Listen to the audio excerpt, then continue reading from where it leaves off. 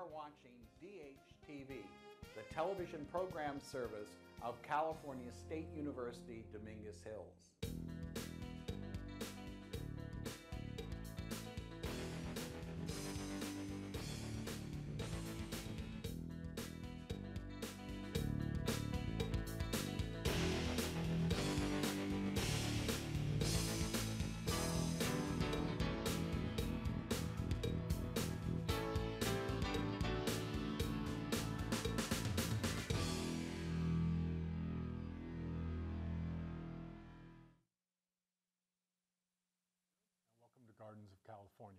California. My name is Gerald Turney, and I'm your host and instructor. This is the live broadcast garden show that is all about gardens and plants. Uh, anything you can think about. I like to say from trees to turf and apples to zinnias. We talk about everything that you can grow in your garden, what does well in California or Southern California, kind of an emphasis mostly on Southern California. But we talk about all plants, all things that you'll find in a garden.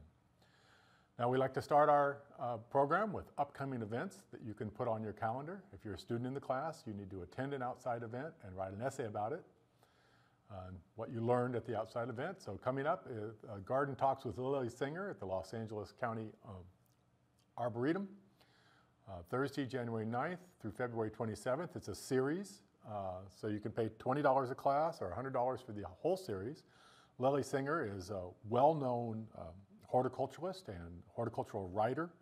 Um, and she has um, speakers come in and talk about all sorts of different topics that are really, really fascinating. So that's on Thursdays, uh, starting January 9th and running through February 27th. Um, and it's a wonderful uh, course, and you'll learn a lot if you attend Lili's uh, uh series. Uh, Ikebana is the art of uh, flower arranging, Japanese flower arranging. That is also at the Los Angeles County Arboretum, uh, Friday, uh, January 31st through the 28th. Um, this is free with admission. Give them a call at 626 821 4623 to let them know you're coming, and uh, maybe they can also give you some tips about what the class will cover. The Wild Mushroom Fair is coming up at the Arboretum uh, on Sunday, February 9th. Uh, from 9 to 5, uh, the Los Angeles Mycological Society will go out on Saturday collecting mushrooms bring them back uh, Saturday night on the February 8th and arrange them. They'll have talks and exhibits and all sorts of fun stuff to learn more about mushrooms. And we'll talk about that today because today we're talking about uh, fungi and mushrooms in particular. In addition to that, we have uh, the Deciduous Flowering Tree um, and Friends event on Saturday, February 22nd from 10 to 12, at the, again at the Los Angeles County Arboretum. And this will uh, focus in on flowering trees and which ones do well in your garden and how you can grow them and take care of them uh, in an optimum way. And I often uh, highlight flowering trees that are blooming in the landscape. We talked last week about Magnolia soulangeana, a deciduous magnolia that's blooming uh, all over Southern California right now. Um, this is the beginning of their bloom period. We are a live broadcast. If you have a question about your garden, you can give us a call, uh, 1 800 339 1193. If you haven't seen the show before, I'm a, certified arborist and a plant pathologist and a botanist. My undergraduate degrees in botany and my graduate degrees in plant pathology. I worked at the Arboretum uh, and I worked at the Huntington, and I currently am the plant pathologist for the Los Angeles County Agricultural Commissioner, where I run a plant diagnostic laboratory and diagnose plant diseases and give out advice on how to grow plants in your garden, whether it be a vegetable garden or fruit trees or ornamental shade trees, uh, whatever it is you want to talk about. Uh, I've probably talked about it at some point in my career, and so we can talk about it. Give us a call. Tell us what's doing well in your garden, um, and maybe what's not doing well, because actually that's usually what people call me about. Now, I like to also have a mystery plant, so let's take a look at our mystery plant today. It's a mystery genus. Uh, rather than just having a, a one plant or a species, let's have a, you know, I like to bring in a genus. This, I just have two of the species of this genus. This is a succulent uh, plant material. Uh, you know, they stay kind of small. This one's getting a little overgrown, could be repotted. So this is what it looks like. And these are flowering, so it's a good time to bring them in when they're blooming. And I don't know if we can get an overhead and get a better look at the flowers. Uh, but they have little tubular flowers. Um, there they are right there. Let's move this over here, and you can see these little tubular flowers that are, that are blooming on this long uh, inflorescence. And here is the one species, and here is the other species. These do really well in little uh, bowls or, or, you know, you can grow a variety of succulents in little bowls. You can grow these actually outdoors uh, in the soil as well. Um, they're not, you know, some of the succulents that are, that are popular um, cannot be grown through the winter months outdoors. Uh, if we get rain, which we're not getting this year, um, that'll be too much for them and they'll rot. But uh, so here are a couple of these, uh, and this one you can see has nearly identical flowers. Really, they are identical. Uh, so here, the, here's our mystery plant. Uh, give me a call if you think you recognize it and take a guess. Um, and then we'll talk about it and where they come from and how to grow them. So now we are talking today about uh, fungi, but before I talk about that, I, there's a publication I get. Uh, I'm not sure how often it comes, to tell you the truth. It may come um, twice a month. I'm not sure. It's a Western Farm Press. Uh, and I, it's always interesting uh, when I see this. I've brought this on the show in the past. Um, they often talk about issues facing agriculture uh, that are important for everyone in the state to, to be aware of. Um, an article on um, growers selecting whether to grow almonds or grapes. Grapes use a lot less water than almonds, and we're facing a tremendous water shortage this year.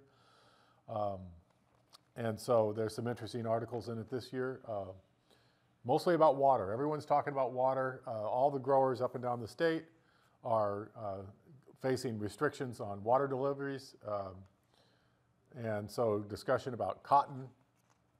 Cotton is a major crop in California. Uh, food safety is also important. Uh, Western citrus uh, making strides. And I, have talked about this before. Uh, Western citrus making strides against Huanglongbing disease. This is citrus greening. Um, and this is Don Hoddle, uh, who was a professor at UC Riverside. Uh, I know him fairly well. We've conducted some research together. And this is more about him going to Pakistan and bringing back wasps to control the Asian citrus psyllid. Anyway, um, also a question about uh, nitrogen getting into drinking water. So just thought I'd uh, uh, mention the uh, Western Farm Press. This is a free publication. Um, and so really important issues that come up there. Now, we are talking about fungi, and we're going to talk about the role of fungi in gardens. and you know, they're ubiquitous. Uh, fungi are everywhere in the environment, really. Um, and we'll talk about that in a minute. But let me show you some of the books um, that uh, I always like to highlight the best books uh, on an issue or a subject. This is Mushrooms Demystified by David Arora. And I'm just going to move this and turn this like this. Mushrooms Demystified by David Arora. Uh, he's from the Santa Cruz area, and uh, his first volume was really especially for California. Uh, but this is really good for um, the Western United States, really all of North America and Canada, but particularly good for California. and this is actually a dichotomous key, and we'll talk about that in a minute. What is a dichotomous key? And he is not a professor, and he writes in the vernacular. So, but he, he's also an excellent photographer.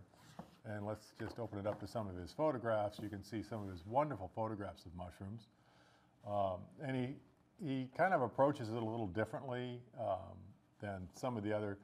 You know, I'll show you another book here in a minute that is, you know, really uh, academic text. Here you have these wonderful morels, you know, one of the best edibles you can collect. So this is Mushrooms Demystified by David Arora. This is your best book for identifying mushrooms that you find growing in the woods or growing in your garden. Uh, and then there's also this. This is the Audubon Society uh, Field Guide to North American uh, uh wildflowers. Oop, I got the wrong book. they have one uh, that's a North, um, for North American mushrooms as well, but this one is actually for wildflowers. I, I have a tendency to buy lots of these kinds of books, but um, the Audubon Society does have a field guide for mushroom identification. It's not as comprehensive as David Arora's Mushrooms Demystified, um, but it's okay. It's nice and small, especially say if you're going for a hike and you don't want to carry a big heavy book with you then the field guide might be more appropriate. But the field guides are more uh, picture books, and their keys aren't uh, really dichotomous keys. So it's a little more difficult to identify things with that. What is a dichotomous key? A dichotomous key is a book that allows you to identify an organism. or a group of organisms. You can have keys for insects, you can have keys for plants, and keys for mushrooms and fungi. And they always have a couplet, and it asks you two questions. Uh, typically, it would say uh, mushroom with gills, mushrooms without gills. Uh, so if you have a mushroom with gills, you look over to the edge of the page, it says go to page 10. Without gills, it says go to page 6. So then you advance into the key, and it gives you another two statements. It'll say uh, mushroom uh, yellow, mushroom white, and then it'll tell, again tell you to go to another page. So you work your way through the key until you get to uh, the species. You read the species uh, description and see if you've gotten to the right species. That doesn't always, they can be difficult to work.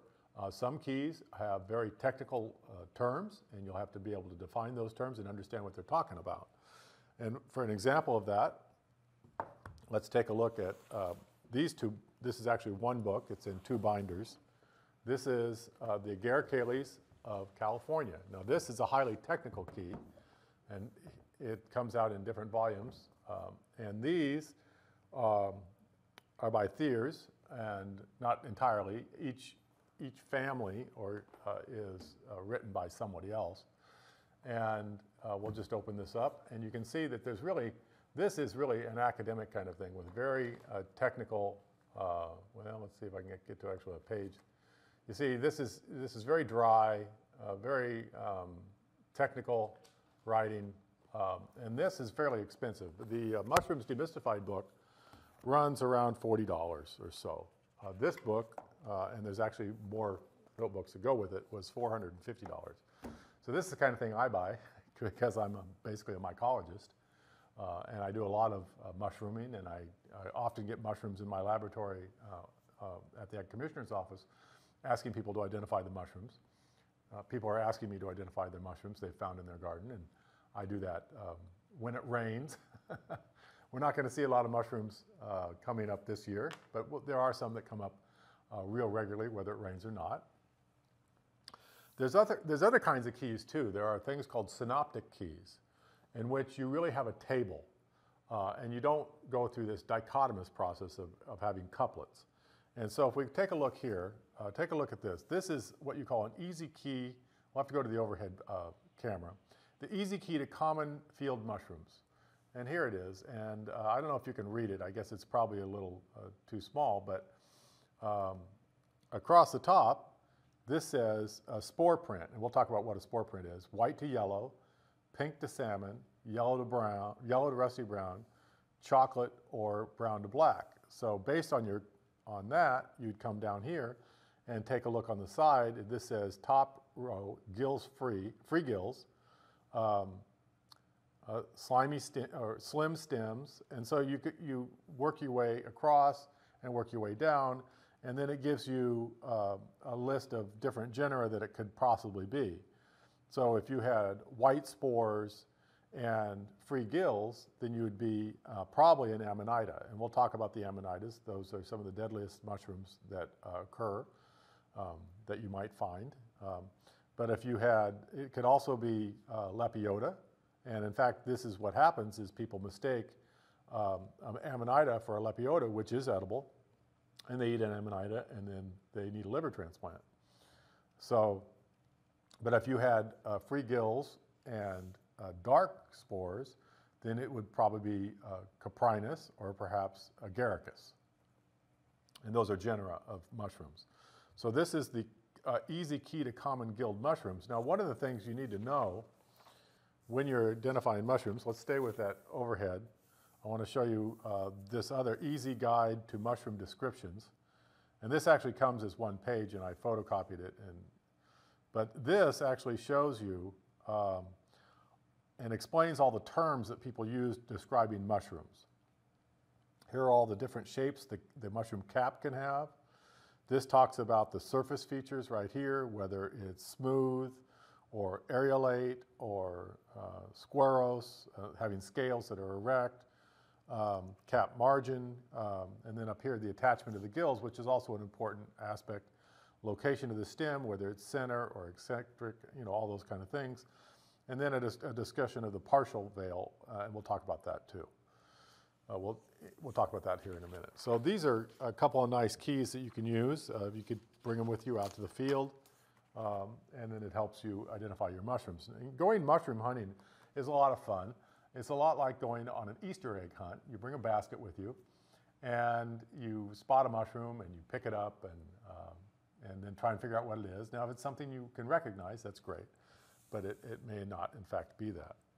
Um, be that easy to identify mushrooms. So let's talk about fungi in general, and then we'll move on and, and have a, a more in-depth discussion of, of, mushrooms themselves. Now, the kingdom fungi, um, historically, a long time ago, fungi were thought to be uh, plants, and they're not plants. They're not plants at all, and they're not really particularly related to plants. Uh, fungi are more closely related to animals. They include the yeasts, the molds, mushrooms, what we call polypores, boletes, stinkhorns, puffballs, jelly fungi, rusts, smuts, truffles. Uh, those are all uh, fungi, true fungi. Um, now, one of the key characteristics of fungi is that their cell walls contain chitin.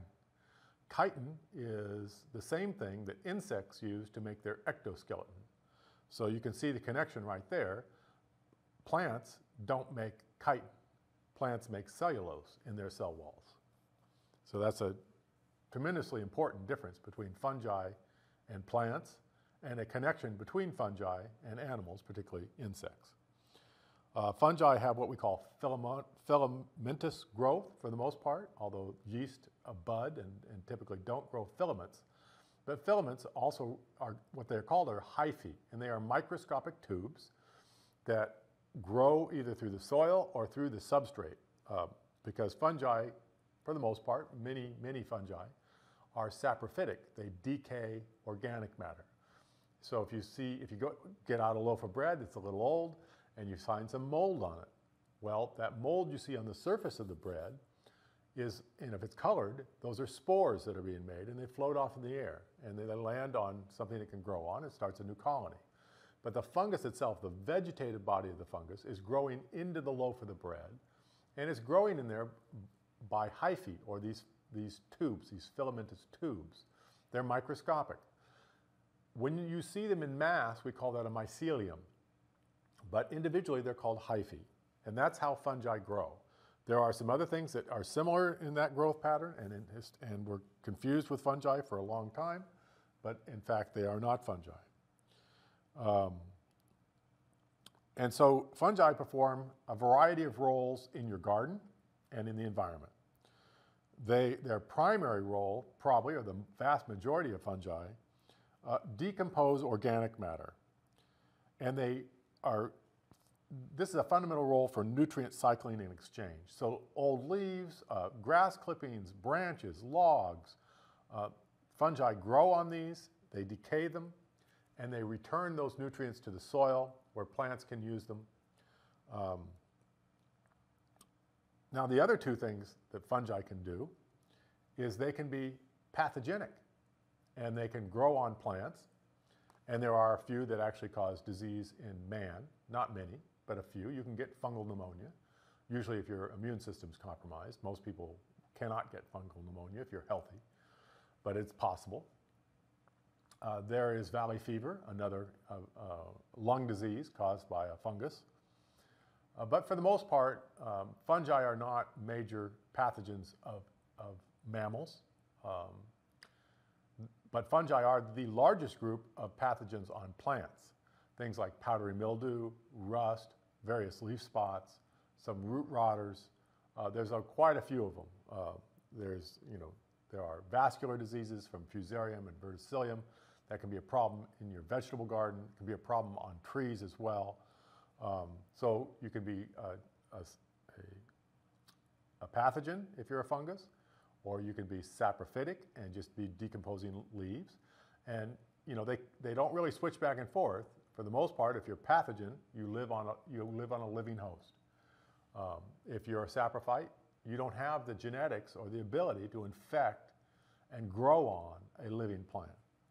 Now, the other group, the other role is to be uh, a mutualist, a beneficial uh, partner with plants.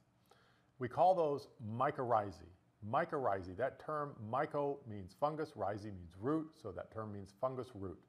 Mycorrhizae infect the roots of plants, grow out into the soil, and absorb nutrients, uh, particularly the very difficult to absorb nutrients that are very insoluble in the soil, things like phosphorus and zinc, particularly. Provide that to the plant. The plant, in turn, feeds the fungus the sugars it makes in its leaves. And so this is a symbiotic relationship, as is the disease relationship. Symbiosis merely means living in close association. Uh, you can have um, various forms of symbiosis, and in this case, with mycorrhizae, it is a mutualistic, or both benefit from the association. Whereas with a disease-causing fungus, like a powdery mildew, that's a pathogenic relationship. But they are clearly growing in close association, so it is also symbiotic. And so there is some confusion sometimes what the term symbiosis means. It does not uh, actually define whether that relationship is good, bad, or neutral. Um, and it can be any of those three, actually. So let's talk about a little bit about um, the two. Now, there are uh, upper fungi and lower fungi. The lower fungi are very primitive fungi, um, and I'm not going to talk about them too much. Um, and then there are the upper fungi, or the higher fungi. And those higher fungi make various reproductive structures. They can make mushrooms, they can make cups, um, and, and that kind of separates those, the higher fungi into two groups. What we call the club fungi, which are mushrooms and conchs and jelly fungi and puffballs, and we're going to look at a lot of those. And then there are the uh, sac fungi. The sac fungi, um, for the most part, most of them don't make large fleshy fruiting bodies. They make microscopic or little pinhead-sized reproductive structures. Some of them do make fleshy fungi, um, large re reproductive structures, and they're often a, a, cup. And if you tap it, it will puff and spores will float off. Uh, things like, you know, Peziza uh, and the morels, those are sac fungi. The sac fungi are called the ascomycetes. Ascus means sac, mycetes means fungus, so the ascomycetes.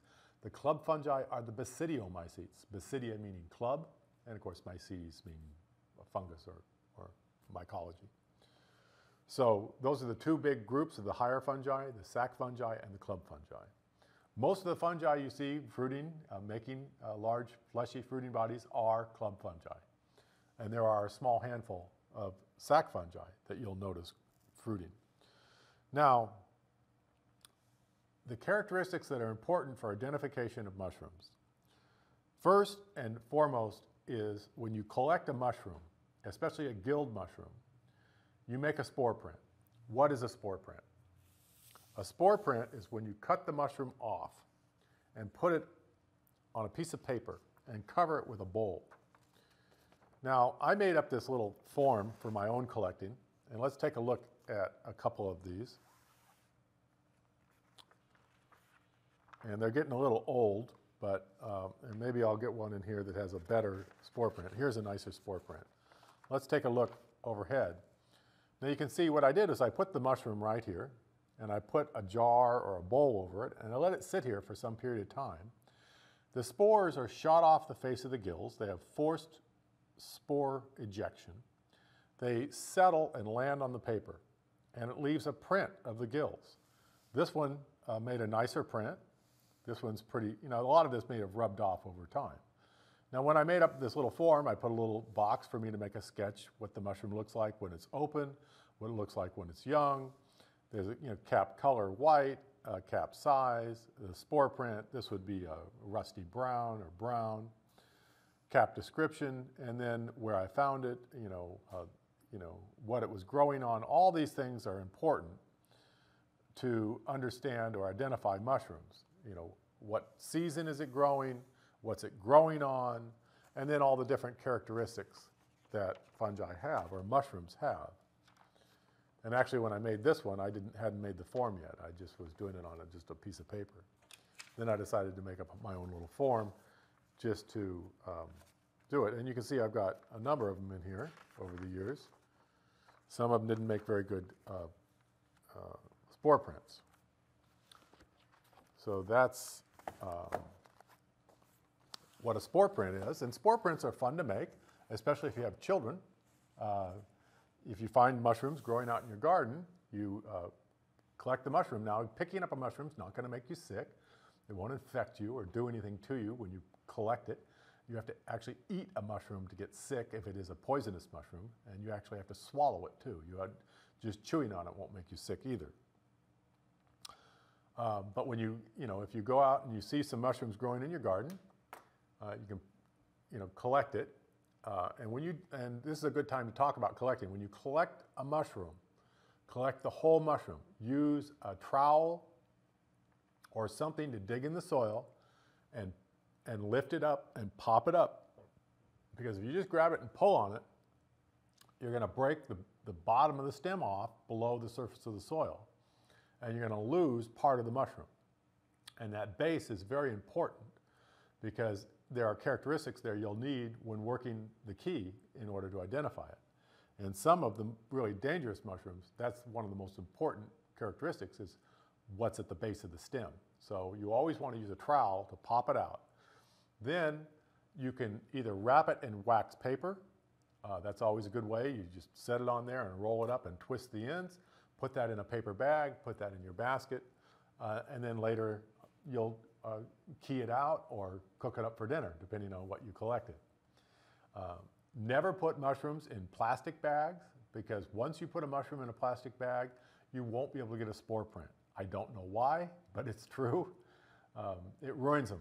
They stop shooting their spores off for some reason. And so you, you know, the best way is to wrap them in wax paper so they don't dry out put them in a paper bag, and then uh, refrigerate them if you cannot get to them right away. One aspect of mushrooms is that they are soft and fleshy and rapidly uh, decay or rot away. So after a few days, uh, they lose a lot of characteristics. They start to rot and decay. They do not persist for a long time in the environment. There are other types of fungal fruiting bodies that somebody may call a mushroom, but a mushroom is a vernacular term. Um, but they're really not mushrooms in the sense that mushrooms should be soft and fleshy. And those are the conchs and the, uh, the, the uh, shelf fungi that grow off the sides of trees. We'll talk about those too. So the, um, let's take a look at um, what I'm talking about. Let's take a look at number one. And this is an important uh, uh, uh mushroom. Uh, I'll bring that up full screen and we'll talk about a few things here. So um, not all mushrooms have all characteristics, of course. Here is the annulus or the ring. Not all mushrooms have it. Uh, here are the gills. Some mushrooms are gilled, some are not. These gills run down the stem a little bit. That's called being decurrent. The attachment of the gills to the stem is a key characteristic for identification. And then also you would cut this off right here. You'd take this mushroom cap, put it on a piece of paper, and print it. Now this is Armillaria mellea. And if you print this mushroom, you'll get a creamy white spore print.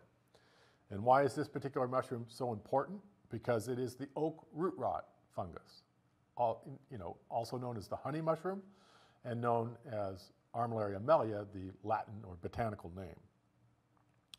And this one infects the roots of trees and kills them. It is ubiquitous in Southern California. It's all over the place, particularly in the San Gabriel Valley and West LA area, Beverly Hills but I've found it everywhere. And this is uh, what kills oak trees. If you water your oak tree a lot, or really at all, you can water in the spring. You should not be watering native oaks during the summer months because of this fungus. If you keep the soil wet during the summer, uh, this fungus will uh, rot the roots uh, rather rapidly. And if, so if you put a lawn under a native oak, like a California coast live oak or a valley oak or an Engelmann oak or you know, numerous kinds of native oaks in California, then this fungus, if it's present on the root system, will grow faster in the warm soil of summer. And after a few years of that, maybe four or five years, you'll notice that the canopy is thinning, that you're getting tip dieback, and branches are dying in the canopy. And it's very difficult, if not impossible, to reverse that decline. So that's why this mushroom is so important. These come up in December and January, usually right on the trunk or at the base of a tree, usually not on healthy, vigorous trees, but uh, you know, if the tree looks good, it often, you won't get any mushrooms off of it, even though it may be infected. But once a, a tree dies, or, and it's, now it's been cut down and it's a stump, or if the tree is near death with very few leaves and it's almost completely dead, that's when you start to see the mushrooms being formed on infected trees. And it has a broad host range. It will infect many, many different types of trees, not just oaks, even though we call it oak root rot. That's only because when um, people were coming to California in the 1800s, they were cutting down the oaks and planting grapes or citrus or other uh, uh, woody uh, perennial crops. And wherever there was an oak, whatever they planted there would get infected and die. And so they called it oak root rot because they associated it with where the oaks used to be. So this was very common in the San Gabriel Valley that they would lose grapes and citrus and things like that to this fungus, and they associated it with where the oaks had been.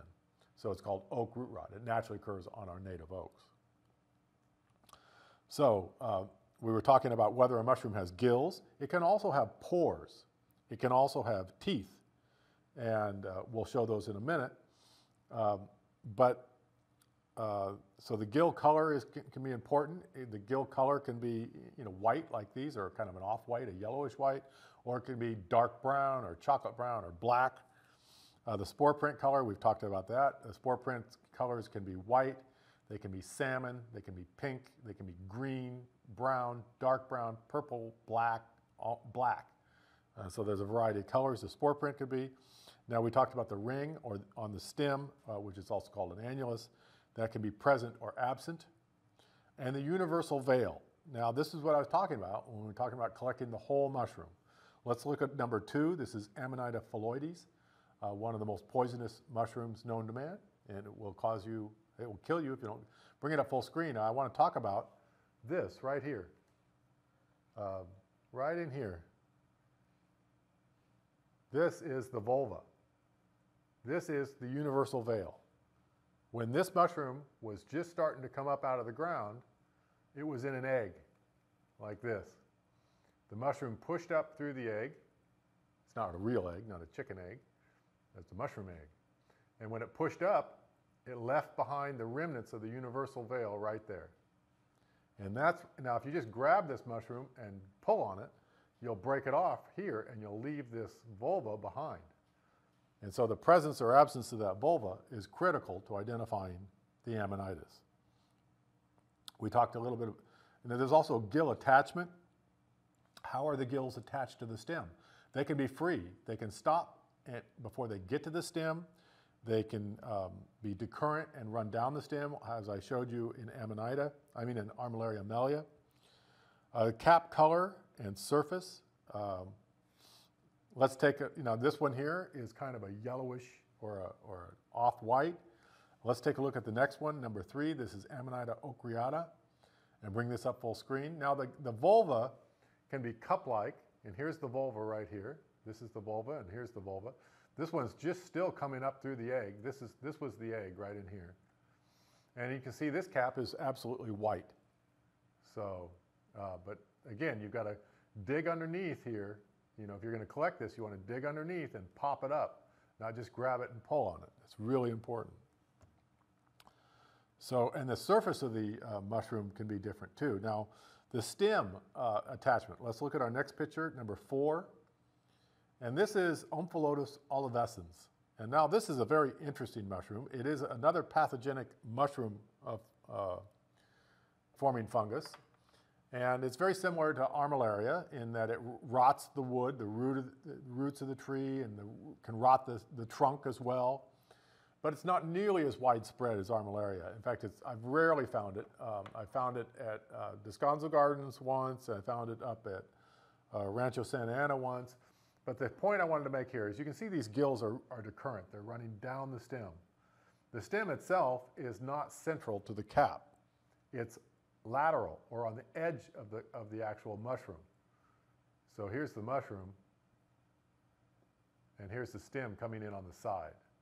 So a mushroom could be, have a central stem, or it could be growing off of something like this, in the case right here. So this is called Omphalotus olivescens. It's called the jack-o'-lantern mushroom, and it is bioluminescent, which means it can glow in the dark. Now, apparently, and I've never seen it glow in the dark, the jack-o'-lantern mushrooms that you see on the East Coast literally do glow at night. They have a faint a bioluminescence to them.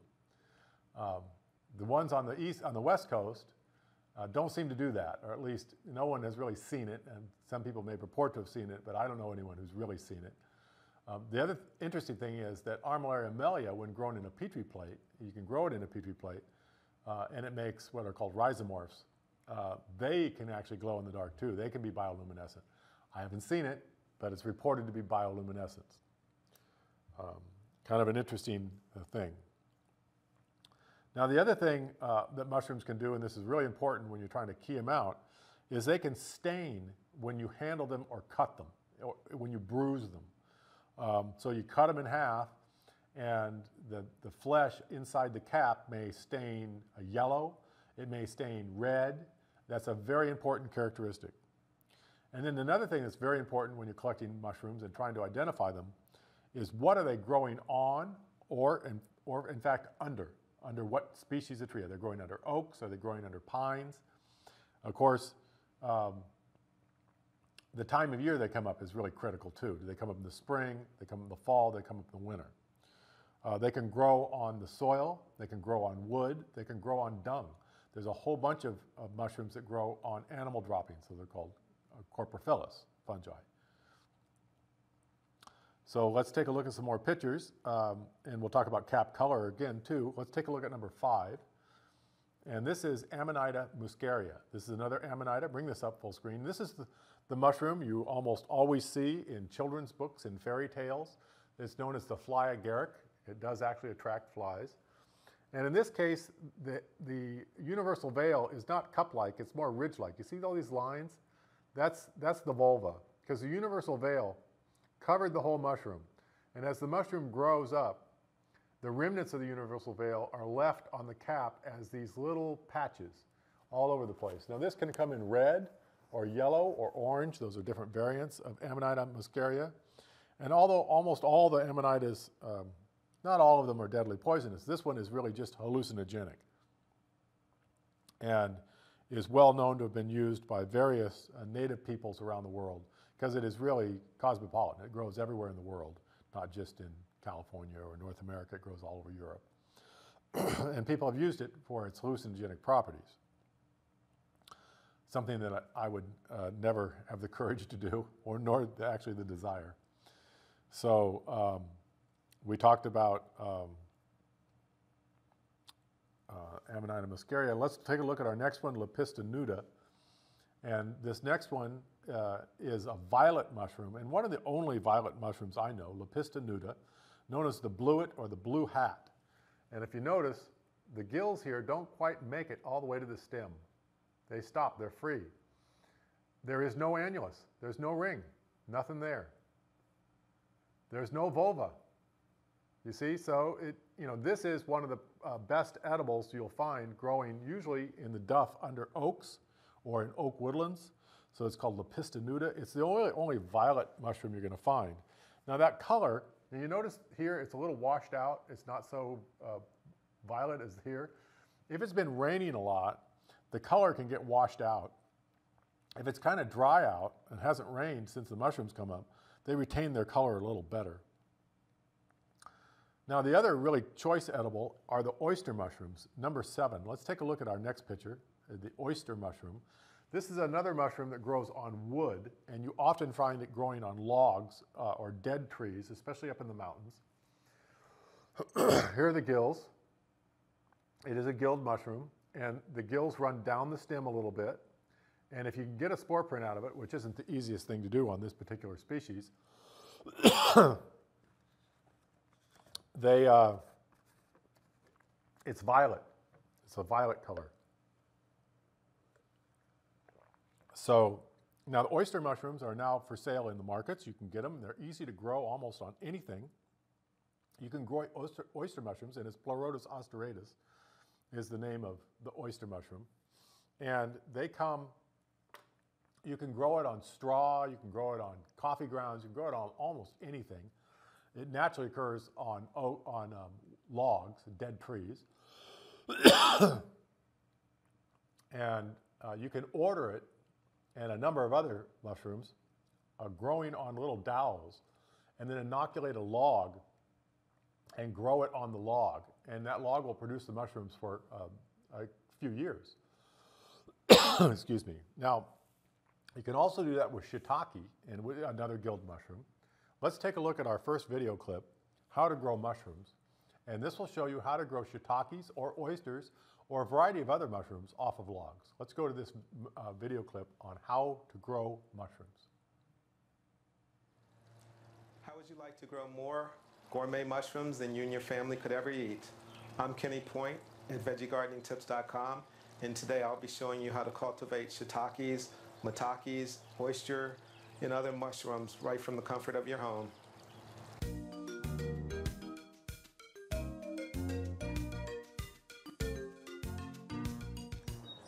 Today we're going to be growing some mushrooms using a hardwood log.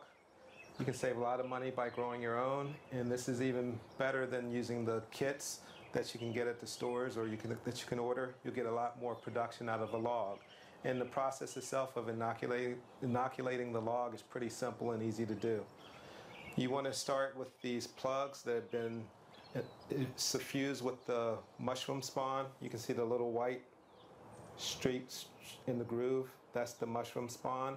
The little dowels are just the carrier to get them inside the log. You just want to drill a hole. This log has already been inoculating. I'm just going to show you how easy it is to do. You can see the spots where the wax is covering the hole. That's where the plugs have already been inserted. And I probably used about 75 plugs in this log. So we're just going to add a few more.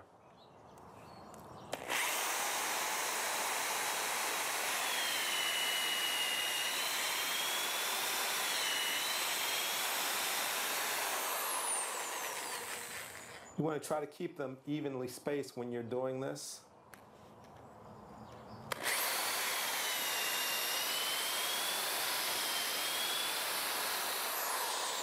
And I'll do one more here.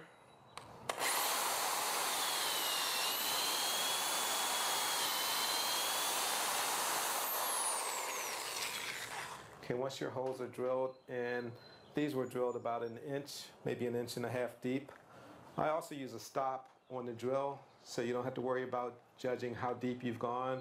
You could also just put a piece of tape on your drill. That way you, you would know by looking at it when you'd gone in far enough. You don't want to go too far though. Then you want to take your plug and simply tap it in place.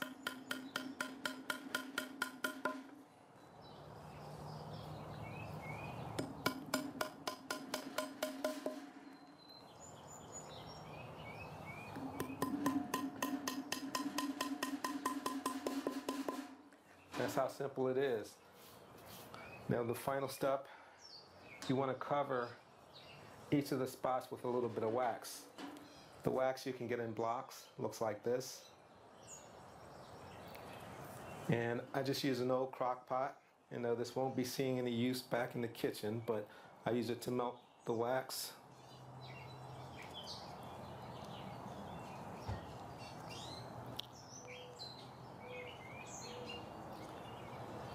and you just use a little bit to cover the plug that you've just put in.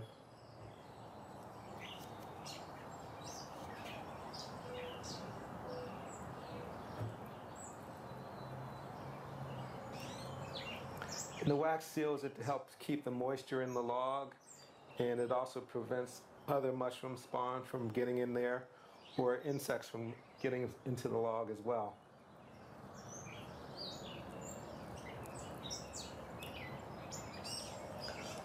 One final step that I also do, which isn't required, but I will also seal the end of the log. Just cover that with wax as well, again to keep the moisture in there. So I'll take now I'll take this log and I'll just set it aside. And it's going to take at least 12 months before you'll start getting any mushrooms from this.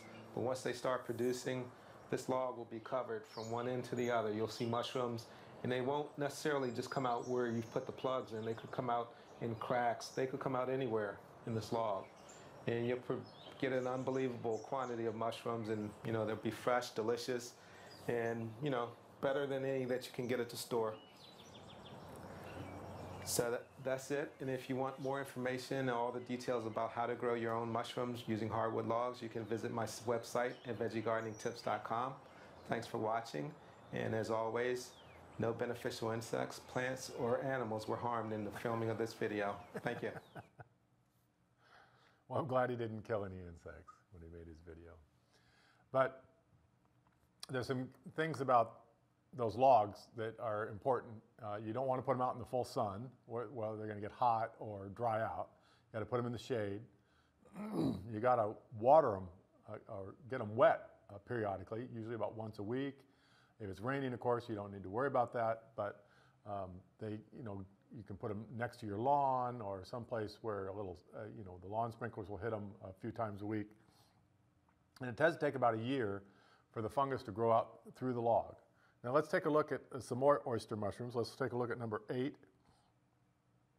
Uh, because it's a pretty picture and oyster mushrooms are fun. Bring that up full screen. This is the oyster mushroom. Uh, one of the easiest of all the mushrooms to identify in the field, a wonderful wild edible. And take, take a look at number nine, which is uh, shiitake, Lentinula edodes. And these are growing off of inoculated logs.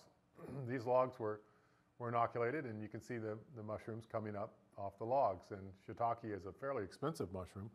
That's when you'd really save money. And let's take a number uh, at number 10, again showing the shiitake mushroom. And of course, it's white, uh, white spored and with white gills. And the cap is areolate when in age, it cracks up, but not always. These, these haven't cracked up yet. Now, you can often buy kits or, or these uh, compressed sawdust logs that have been inoculated. I'll Take a look at number 11, and it'll show you one of these logs that's growing um, the oyster mushroom off of it. So this is a, here's the bag it comes in right here. And this is right in here, this, all this in here is sawdust that's been compressed and inoculated with the fungus. And now all you have to do is pull the bag off. Uh, it's better to keep it in a more humid environment, uh, and then it'll make, make the mushrooms. And you pick them and, and cook them up, and they're delicious. There's also a pink oyster mushroom, and let's take a look at number 12. and you'll see the pink one. Uh, um, you know, it's, it's does not, it's not going to taste any different. In fact, mushrooms generally have very little of their own taste. They taste like um, whatever you cook them with. Now, there's a couple of other things um, about various common genera. One of the more common genera is Coprinus. And if we can bring up number 13, Coprinus, uh, really probably all the Coprinus are edible, but Coprinus uh, comatas, or comatus, I should say, is the inky cap. And this is one of the more, you know, one of the easiest mushrooms to identify in the field. The edge of the cap starts to digest itself and drip uh, black goo off the edge. It's auto-digesting.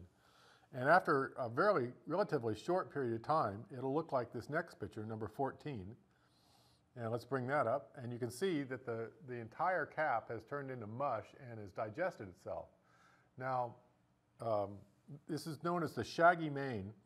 And when it's fresh and, and young, as in the first picture we showed, uh, it's a prized edible. Take a look at number 15 and you'll see uh, what they look like when they're young and fresh. Uh, these are shaggy manes, uh, Coprinus comatus.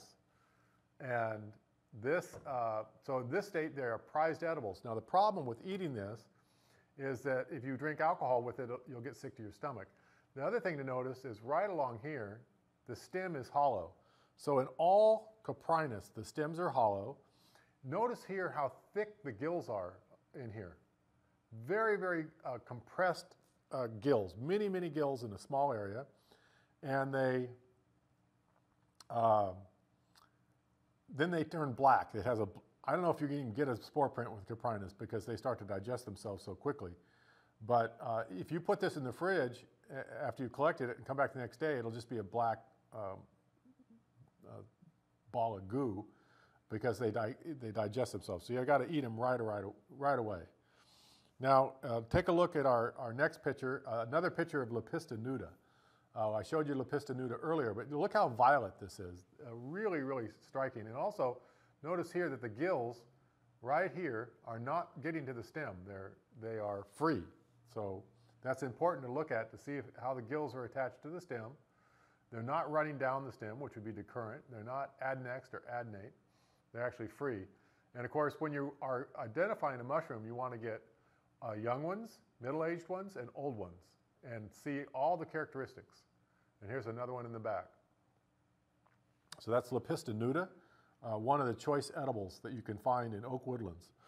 Now, these were all really gilled mushrooms, and the next one we're going to look at is a poroid mushroom, and they are called the boletes. This is Boletus flaviporus.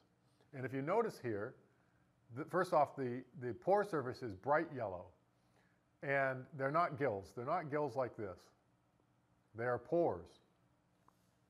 And the boletes uh, have some of the most, uh, you know, prized edible uh, mushrooms you can get.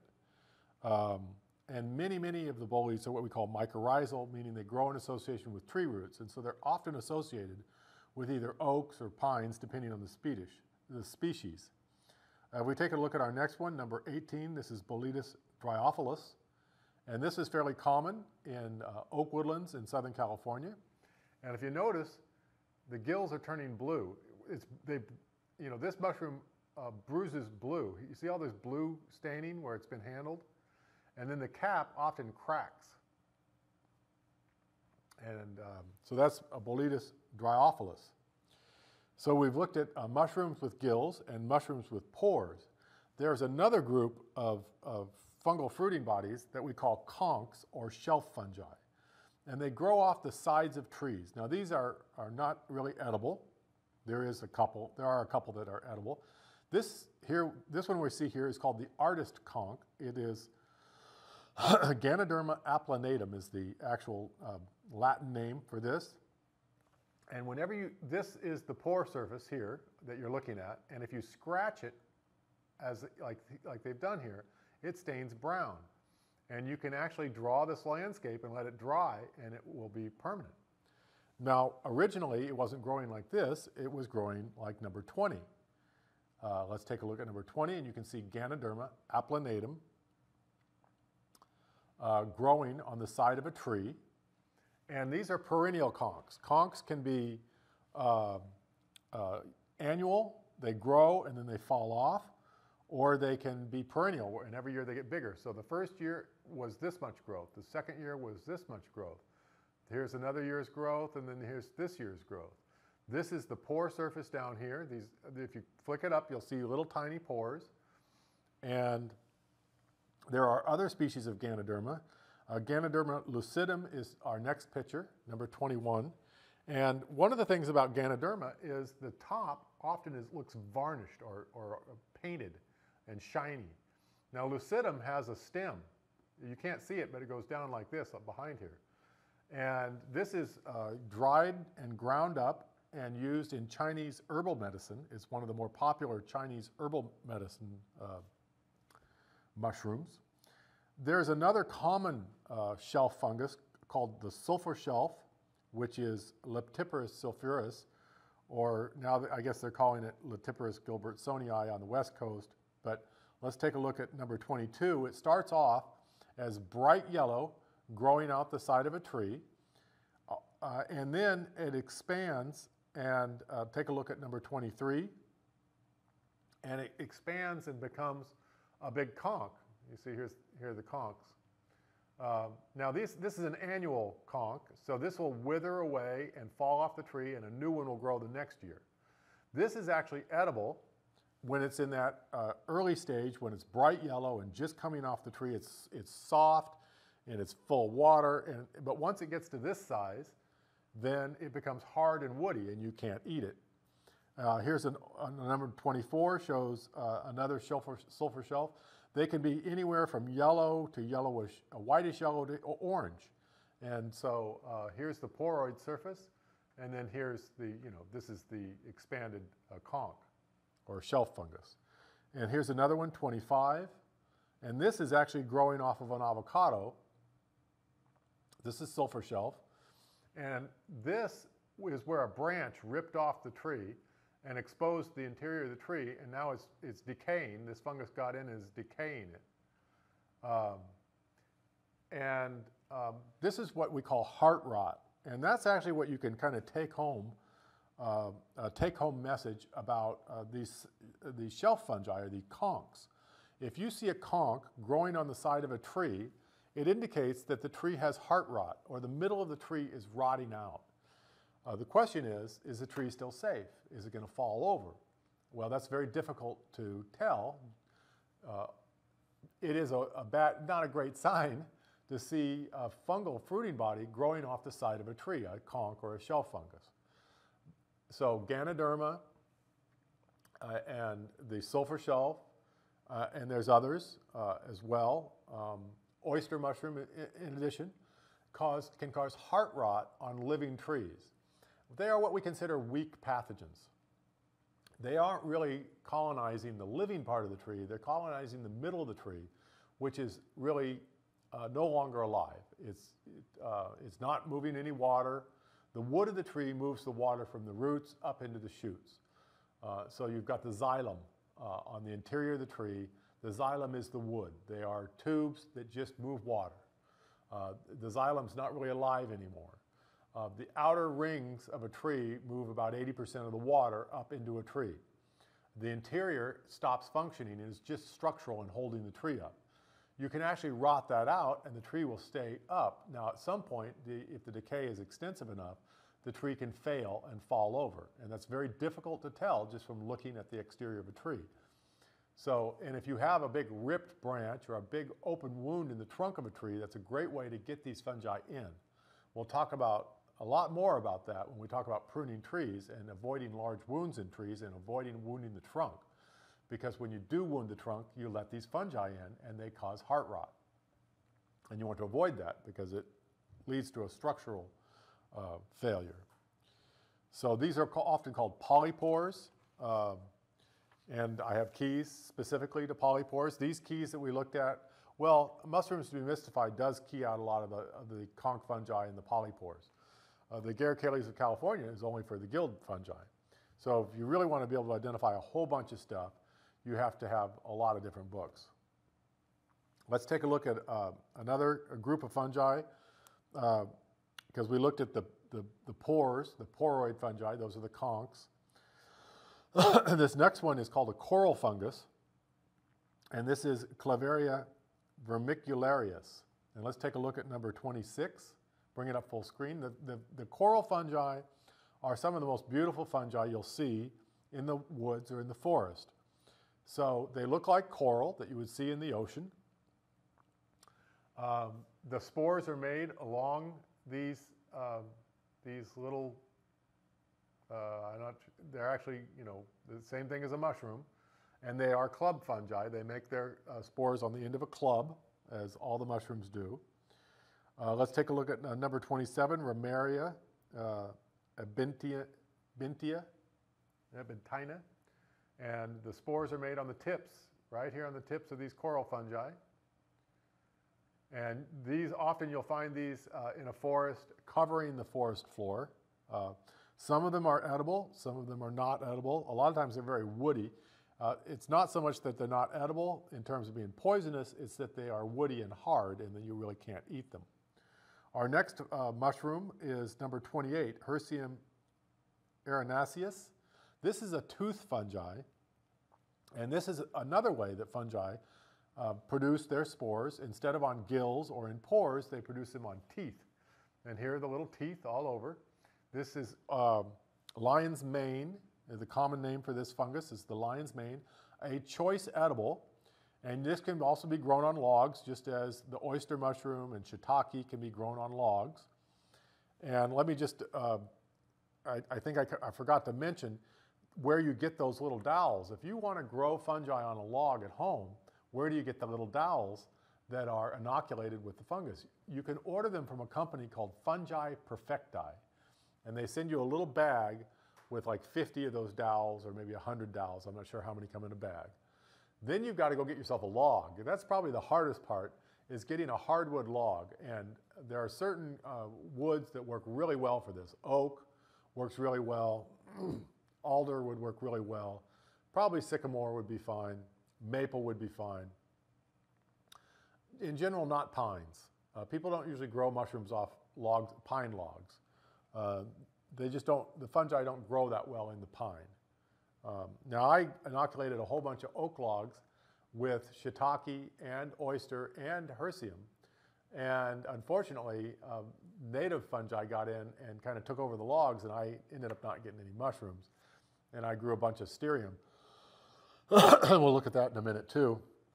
So this is Hericium. Now, I have collected Hericium up in Eaton Canyon uh, because every few years I teach mushroom identification at the Arboretum, or I'll teach it at Descanso or Rancho Santa Ana at various places ask me to teach it. And then we'll go on, you know, we used to go on field trips and go up to Eaton Canyon up in Altadena.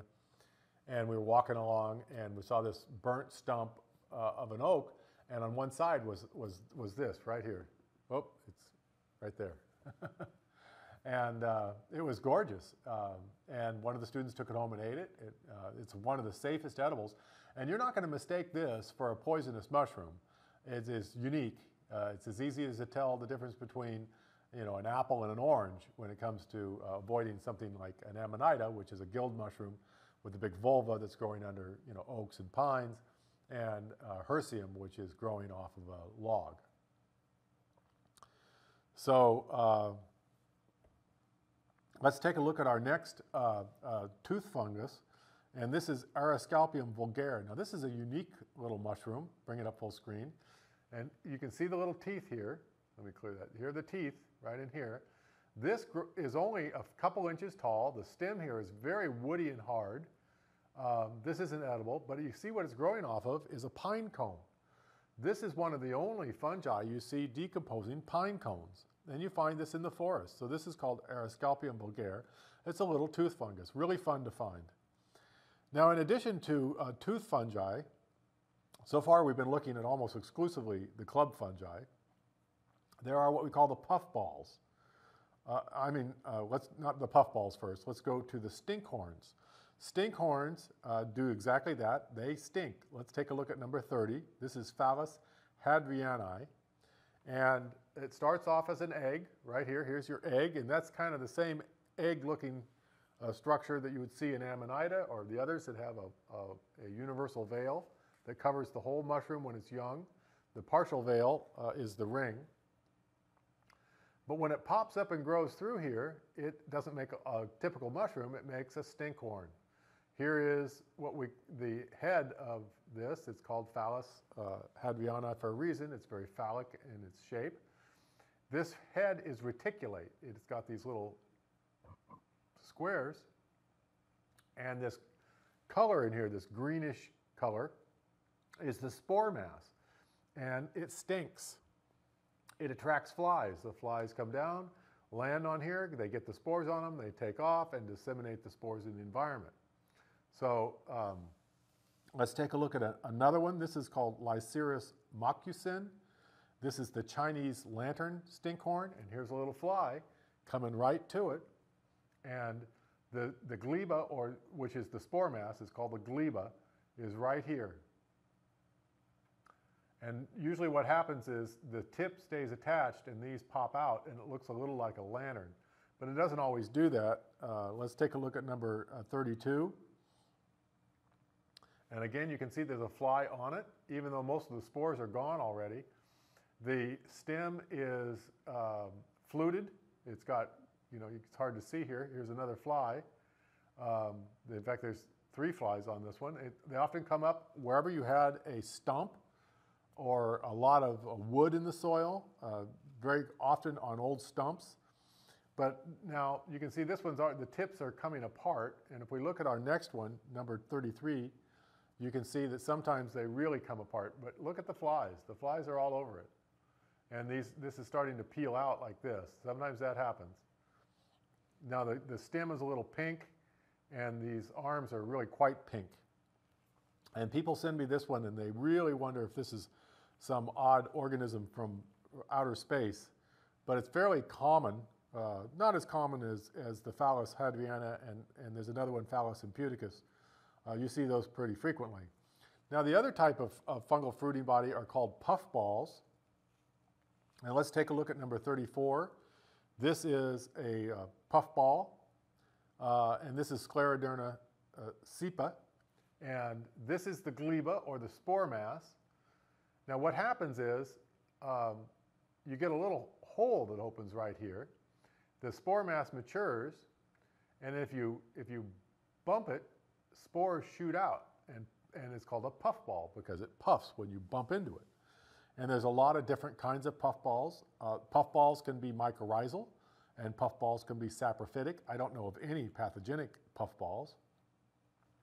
Our next one is Calvatia pachyderma, and let's take, this can be the size of a basketball. Uh, they can be quite large.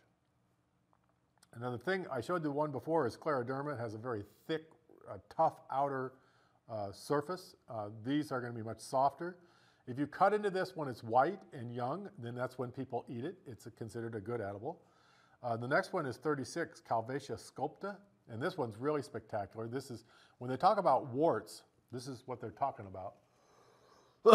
this one is so unique that I don't think you could mistake it for anything else. I have collected it in the Sierras on many occasions. It is a choice edible. Now, these warts don't always look quite so uh, distinct and pronounced. The next one is also Calvatia sculpta. Take a look at 37. And you can see the warts have either worn off or washed away, or they just weren't as big. But this is also Calvatia sculpta. So those are puffballs. Now there's another group of puffballs that are, we refer to as earth stars. And this next one is Geastrum uh. And this is the star part right here. And here's the little ostiole or pore, and if you hit it, it's going to puff spores. But because it's got this part, it's called an earth star, but it is a type of puffball, and you can see this here. Now when it rains, what happens is these these, these, which normally cover it like this, when it rains, these peel back like that. They peel back like this and push this up in the air. And then the raindrops hit this and puff spores out. When it gets dry, these are going to come back up and cover this back up. Really cool.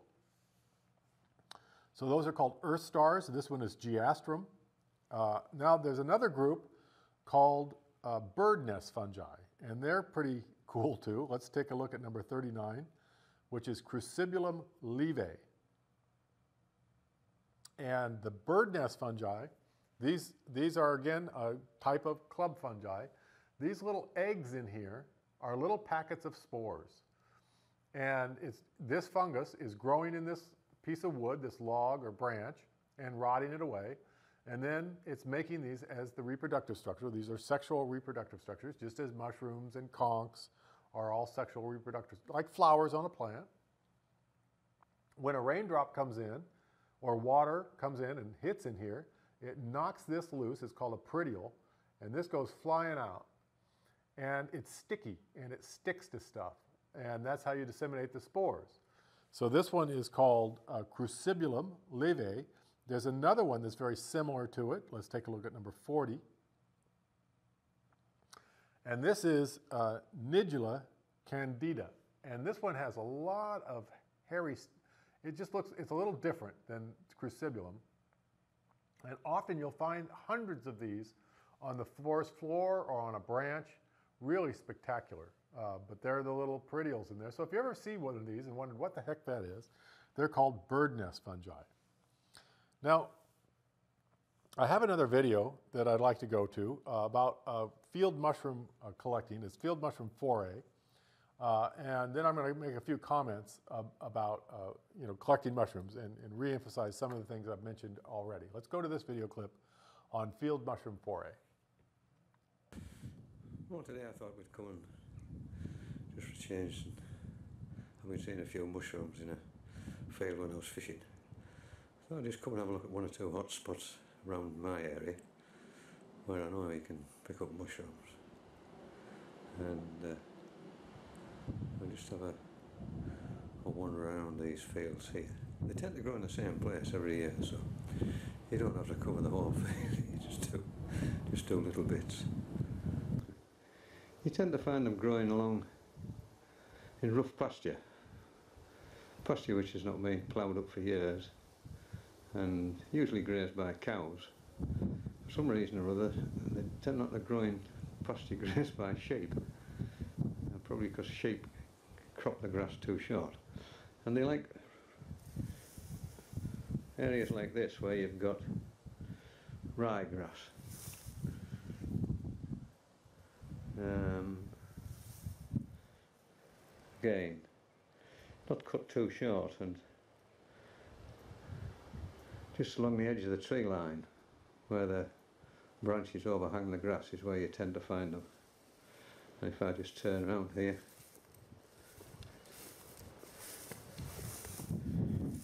there you can see a couple of edible mushrooms just beginning to appear. They always grow well down this little line of oak trees here, just out on the edges where the branches overhang the grass. So we'll just have a look at down here and see if there's any emerging. Well, they stand out pretty well. And there you can see a, a couple of nice specimens, which I'll just, in fact there's three.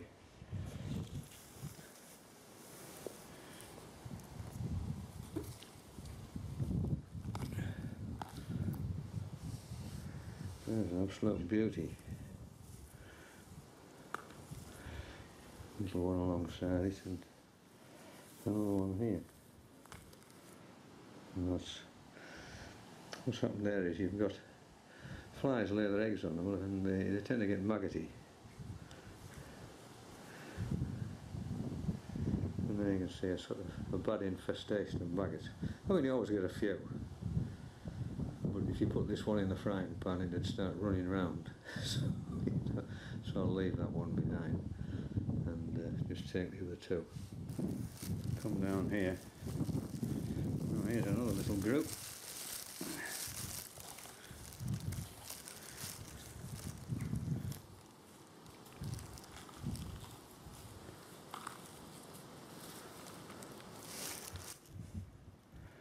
Unlike flowers, they're not green, so they don't photosynthesize. They they live on the dead remains under the soil. And they don't reproduce by seeds either. They reproduce by tiny, tiny things called spores, which are produced by the gills. So there you can see the gills. And they produce spores, they're like dust. If I left this face down on a plate or on a piece of white paper, you get the gill pattern on the paper in spores. you can make pretty patterns with them. Um, lay them in different places. Different fungi produce different coloured spores. So by laying them on paper and uh, in different patterns, and then you can spray them with hairspray to protect them so they don't get smudged. Uh, so if you're into some kind of different art form, fungal spore patterns, uh, very pretty things.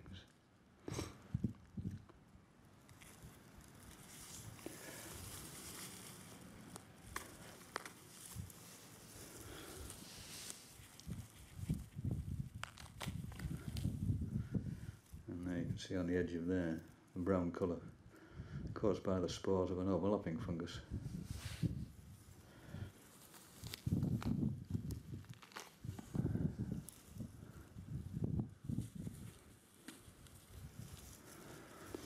You can see the younger fungus tend to have a lighter coloured gills. As they get older, the gills become a, a darker brown colour.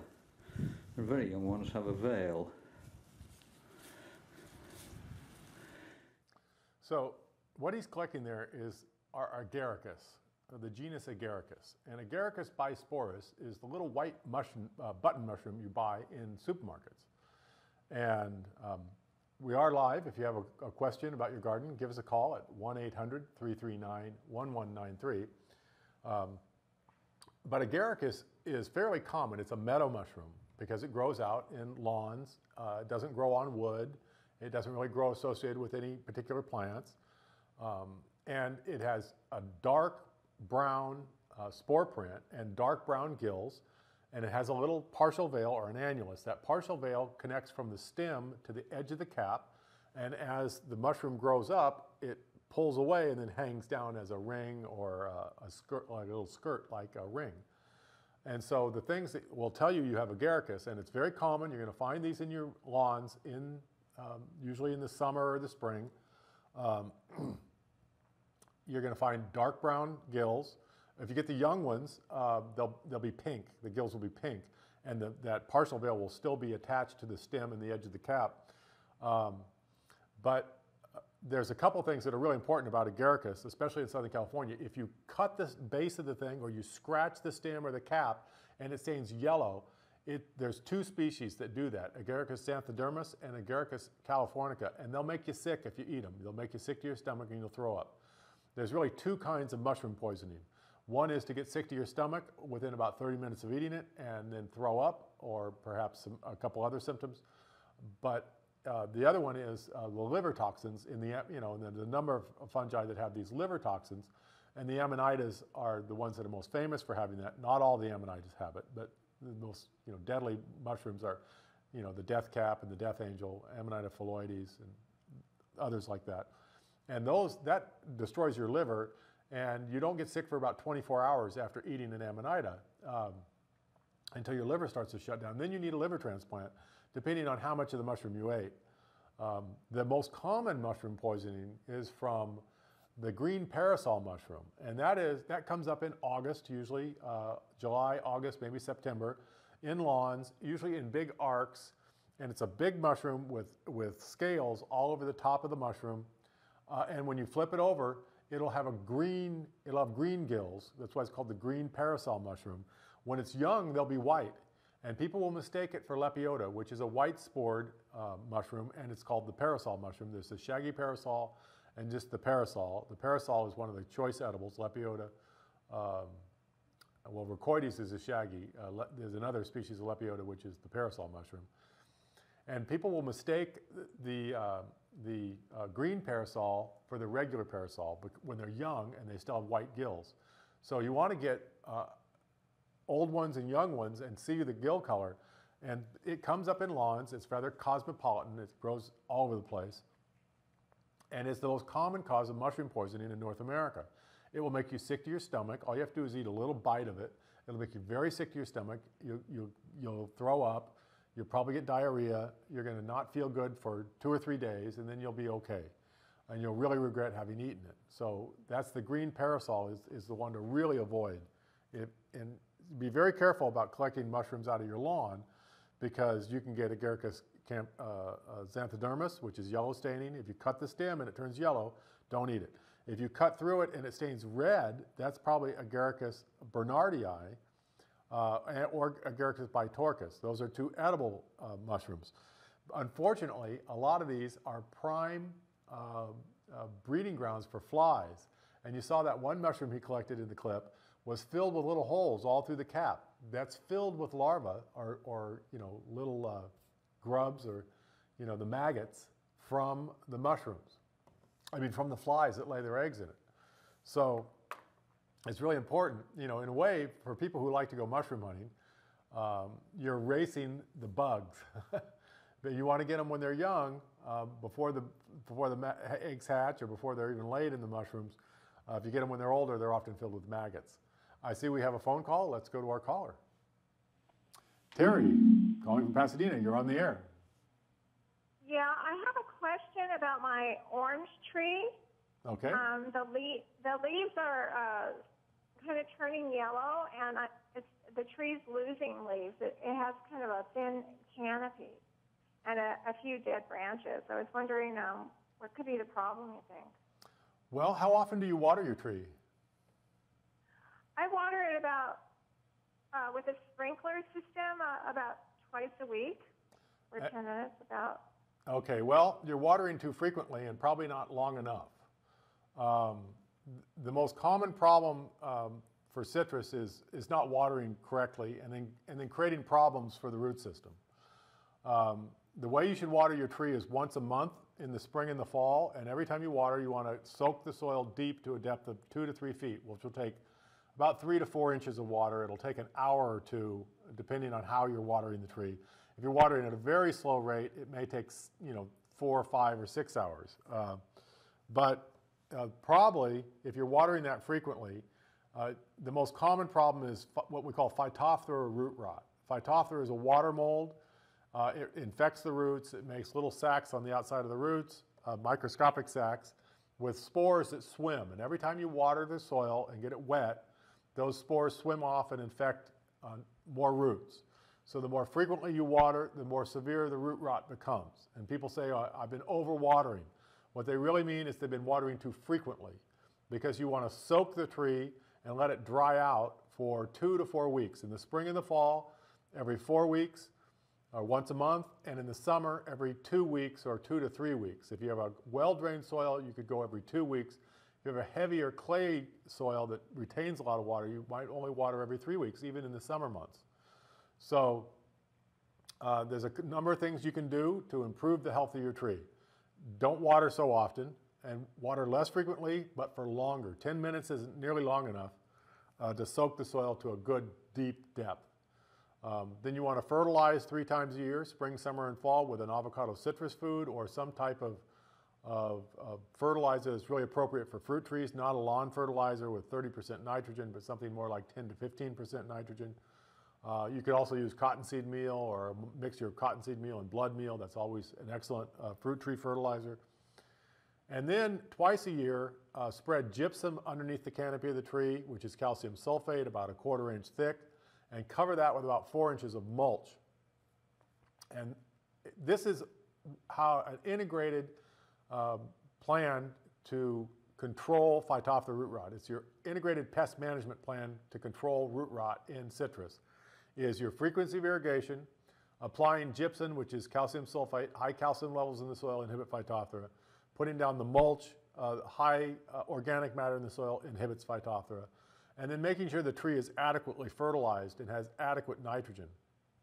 If you do all those, your tree should do much better. And there's one other thing you can try, and that is, and when we were talking about mycorrhizae earlier, Citrus are mycorrhizal uh, trees, I mean, meaning that they're highly dependent on their mycorrhizal partners. And you can buy uh, fertilizers now uh, that are only usually around 3% nitrogen, so they're weak fertilizers, but they're mixed with various species of fungi that are mycorrhizal. And there'll be two kinds of mycorrhizae in the mixture. The ones that grow outside the root that are called ectomycorrhizae, the ones that grow inside the root that are called endomycorrhizae. Uh, citrus are endomycorrhizal not ectomycorrhizal. And so you drill hmm. holes in the soil about an inch in diameter, maybe up to two inches in diameter, about 10 inches to or so deep. You pour this material into the holes. You put them every one to two feet, all underneath the canopy of the tree. The best time to do that would be in uh, spring, March, April, May, sometime in there, and uh, then water it in. And if, if you do all of that, if you uh, water properly, put down the gypsum, put down the mulch, and inoculate with the mycorrhizae and, uh, and fertilize the tree, your tree should do much, much better. It may take okay. a little while to see the improvement. Okay? Well, it sounds like that would work. Okay, well, thank you so much for your oh, advice. Okay, good thank luck you. with your trees. Bye-bye. In fact, one of the things I, I didn't mention was that Mike, you know, we were talking about mycorrhizae. We were talking about, you know, most of the boletes. We looked at boletes briefly. Most of the boletes, are, many of them are mycorrhizal. Amanitas, all the amanitas are considered mycorrhizal. Many of the puffballs are mycorrhizal. Those are, are almost all ectomycorrhizal, meaning they grow on the outside of the root. And that's only about 10% of the plants on Earth are ectomycorrhizal, and they're mostly, mostly temperate tree species. Uh, the Pinaceae, all the pines, are ectomycorrhizal. All the oaks, the Fagaceae, the, the, uh, the beech family, uh, maples, uh, they're all ectomycorrhizal, meaning that they grow on the outside of the root, they don't grow inside the root. They actually change how the root grows. It becomes uh, uh, stunted and smaller, but the fungi grow out and do all the work that the root system was supposed to do. But then there's everything else, and everything else, you know, you got those 10% of the plants are ectomycorrhizal. Then you got everything else, which is endomycorrhizal. Endomycorrhizal uh, fungi don't make fleshy fruiting bodies on the surface of the soil like mushrooms. They make uh, spores uh, in the soil or in the root, and um, so you're not going to see them, uh, but they're there and they're in the soil. When do you need to uh, inoculate a plant with mycorrhizae? Because you can buy these now uh, in various products. The people are selling them mixed with fertilizers. They're selling them individually mixed with things like vermiculite or perlite. Uh, really, they're just chopped up roots from some plant that was, you know, inoculated on purpose. But if you look at some of these uh, products, you'll see a list of different species that they put in there and there'll be a mixture of different ectomycofungi, like uh, one is called Pisolithus tinctorius or PT. It's a puffball former. Uh, there'll be some other ectomycorrhizal, ectomycorrhizal fungi. Then there'll be a, a variety of, of endomycorrhizal fungi. Glomus deserticola, uh, Glomus is the genus, and there's a variety of species within Glomus, which are micro, all the Glomus are mycorrhizal. And so they'll mix those together, and then you, if you get that product, you can put it on any plant, and there's something in there that will grow on that root system. So you can use these with your vegetables. You can use them on, you know, almost all the vegetables are, are endomycorrhizal. All your fruit trees are endomycorrhizal, but you could use, the, you know, one of these products. Uh, there's one Mycor uh, root saver or Mycor tree saver. Uh, they're from the same company, from Plant Healthcare Incorporated. There's others, that's not the only one out there. Uh, there's one I buy called BioStart. It's about 3% nitrogen and has a mixture of different fungi in, with it. And uh, so you can put it on a pine tree if it's doing poorly. You could put it on an oak tree if it's doing poorly and try and generate some root growth. Uh, change how you're taking care of the tree, and especially in terms of watering, because usually when trees go into decline, it's often related to how the trees are being watered. They're usually being watered way too often. The soil is being kept wet all the time, which is you know, great conditions for either Phytophthora root rot or Armillaria root rot, the oak root rot fungus we looked at earlier. So one of the ways you can try and deal with that is to inoculate your trees, change how you're watering, and then inoculate your trees with a mycorrhizal inoculant. It can take up to a year before you can see the benefits of this uh, because trees decline slowly and they recover slowly. So but anyway, that was a timely uh, question uh, uh, because we're talking about fungi. Let's look at a few more fungi. Let's look at uh, number 41. This is Cantharellus cibarius. This is the uh, chanterelle. This is the, uh, the most sought after wild edible mushroom that you can ever find. Bring it up full screen. These aren't really considered gills, gills here on the stem. these are considered folds, but that's where the spores are made. These have a very buttery flavor. They're just fabulous. The cap is kind of uh, funnel shaped like this. Uh, you know, it's like this, like that, kind of funnel shaped. Uh, you'll find these in the forest, um, and they are, uh, you can't, no one's figured out how to grow them commercially, or they would be a big, huge success. So those are, that's a chanterelle. Now let's take a look at some, uh, some of the sac fungi. And the next one is Peziza repanda, and that's, uh, this is a cup fungi, an apothecium. And if you bump this, if you come in and bump this, it'll shoot spores out of here. This often, you'll find this growing in uh, woody mulch or, or wood chip. I find it all the time at the Arboretum, um, and you know, you'll find sometimes dozens and dozens of these. It's kind of got a, a scruffy surface on the outside here, uh, and then as they age, they open up a little more. Um, they're not so cup-shaped. In addition to that, um, this next one is Aleuria aurantia, number 43. It's called the orange peel uh, mushroom. It's not really a mushroom. It's not a gilled mushroom.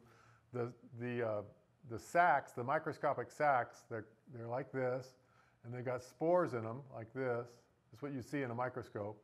And then this pops off right across there, and then they shoot out. Um, but they line the interior of this cup. So now I haven't seen this one actually shoot spores.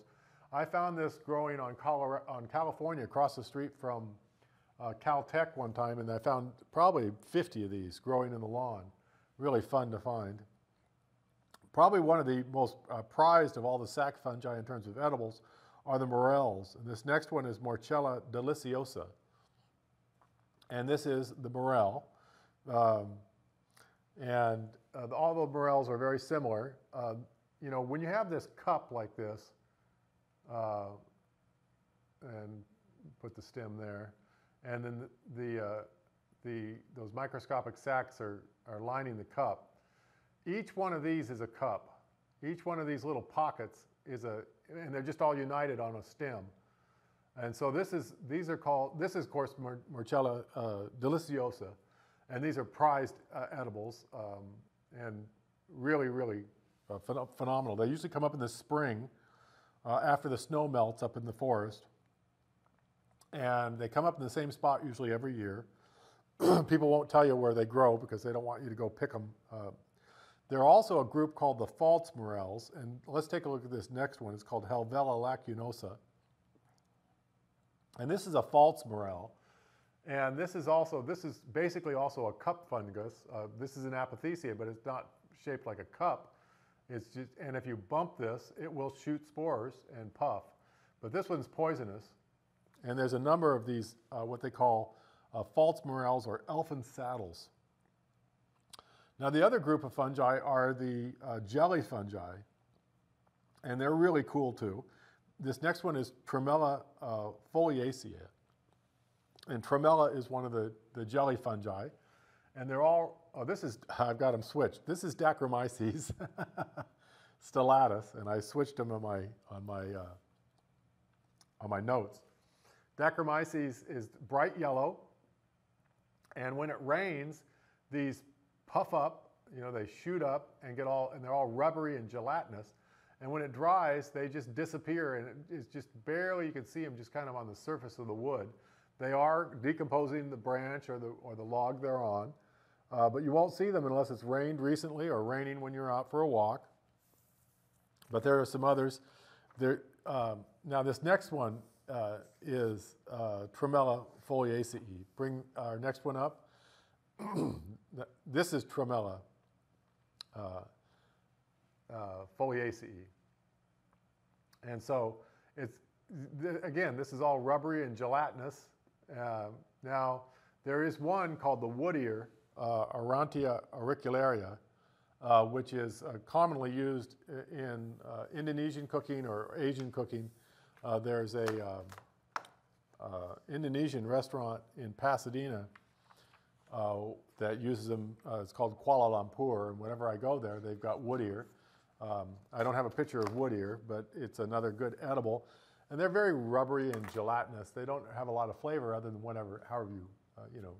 I cook almost all my mushrooms in olive oil and garlic, so they always taste like olive oil and garlic.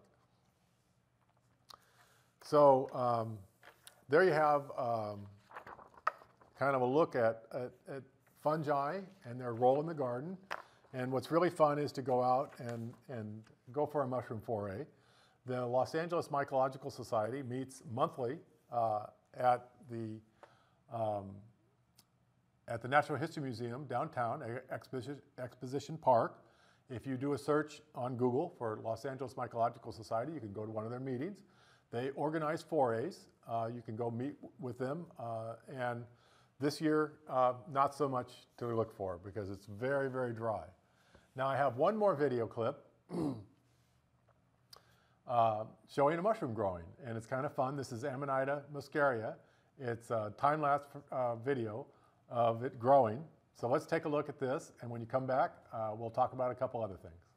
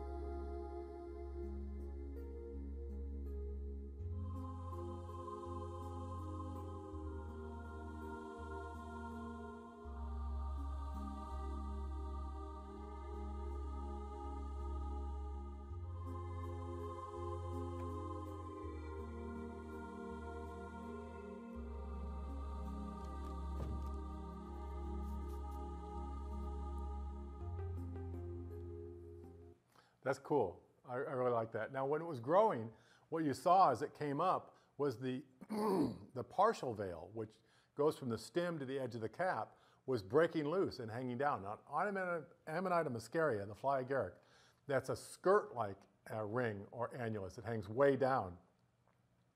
Uh, and you also notice that there were flies attracted to it. They were probably laying eggs. Now, what I want to do now is just a little demonstration on how to mount a uh, staghorn fern. I've done this in previous shows. Uh, I grow staghorn ferns, and staghorn ferns are uh, in the genus Platycerium. And the one that we grow, the most common one grown in Southern California, is Platycerium bifurcatum. And when you see a staghorn fern, that's this right here is a staghorn fern. Now, years ago, I had a big, uh, huge ball of them. I started off, I bought a little one for about five bucks. I put it in a basket uh, with sphagnum moss, and it grew all over the basket, became a huge, giant thing. And of course, eventually, I had it hanging. Uh, it, the, the supports for it to hang uh, broke, so then it sat on the ground. Now uh, I kind of need to do something with it. It's hard to hang it again. And so I, uh, you can break off uh, pieces of it. I broke this off and trimmed it up, so it's quite a bit smaller. Now, it, these grow by rhizomes, as all ferns do. And what you want to do is mount it to a board um, and, um, and you grow it in sphagnum moss. And that's the key is to, you know, get the sphagnum moss behind it and then mount it to the board. So, but before I actually mount it, let's talk about how it's going to be attached. Now, here's the board. This was a board that I uh, grew a, uh, a, a, fern on before, a, a different um, uh, the same species, Platycerium bifurcatum. But what you need are uh, things to attach the fishing line to, because I'm going to use fishing line. You could use wire, but fishing line I think works better. So here's a screw that I've put in here, and I don't know if you can see it all that well. There it is right there. And here's another one right down here. So I uh, put these in, and I also drilled a hole through here, and I have a little hook so I can hang it. Here's another screw here, and here's some old uh, um, when I had the other plant on here, they're left over. These are roofing tacks. Generally speaking, you want to use a galvanized uh, deck screw or maybe roofing tacks. I just had some old screws sitting around that I stuck in this board this morning, so to make it easy. And you want to grow them in sphagnum moss. Now here's sphagnum moss. Here's the sphagnum moss.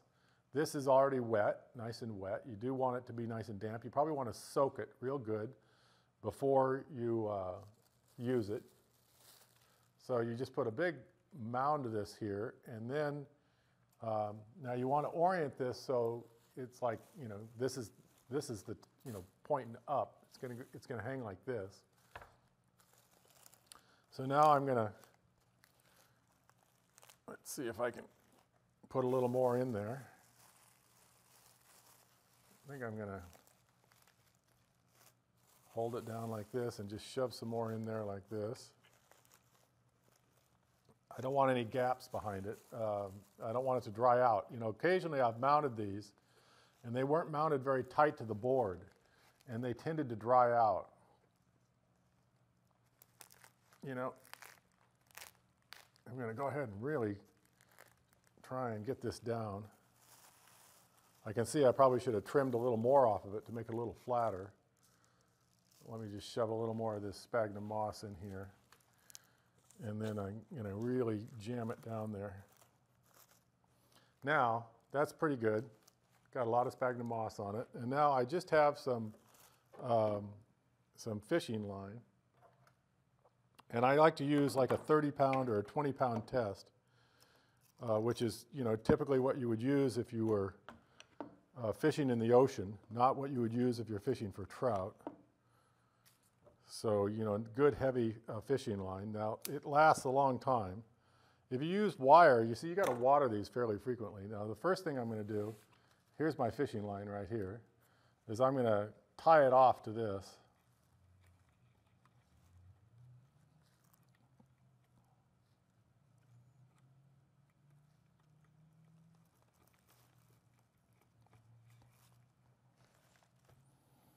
Make sure that's tied nice and tight.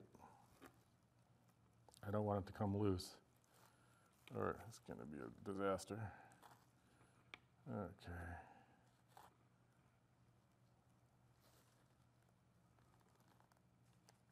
Okay, there, that's gonna, it's gonna knot up pretty good. There we go, that's nice and tight. Now, I'm gonna push down on this and pull it across and loop it around one of the old uh, roofing tacks.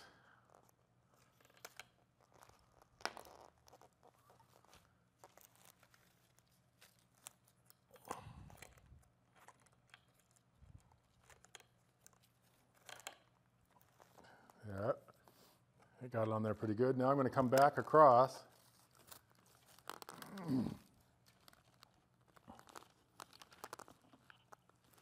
Wrap it around here a couple times.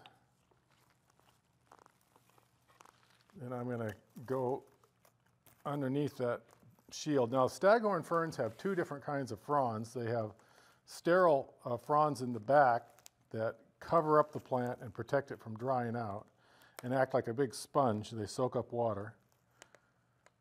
So, and then I'm going to, oh, that one came off. This isn't working. Got to go back and start over. This can happen. Let's see if I can get this on here a little better.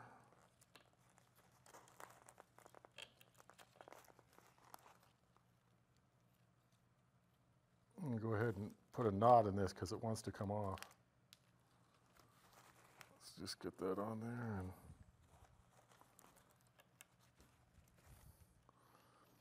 I'll go across to here. Wrap it a couple times on that. Come over here. Wrap it a couple times on there.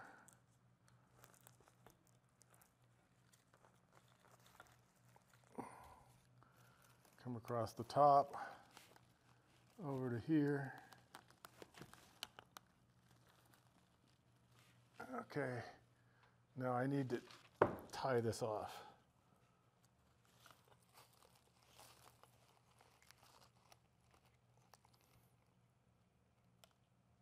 I'm going to try and get a knot in this so it won't come loose.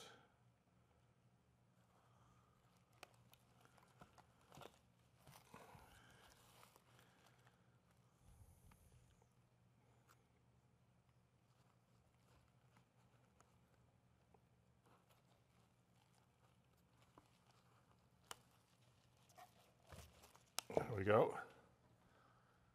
Okay, that should hold it on.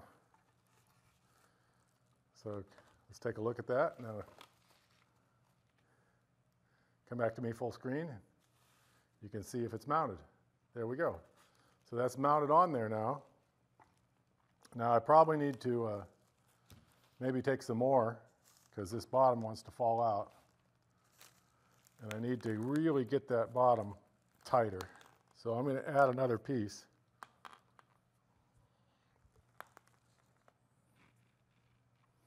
Let me get another piece of this.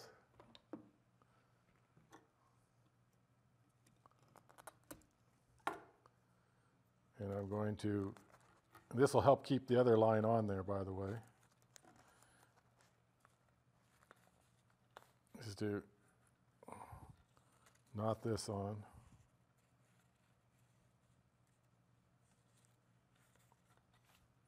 I just use half hitches. They work pretty good. Come over here.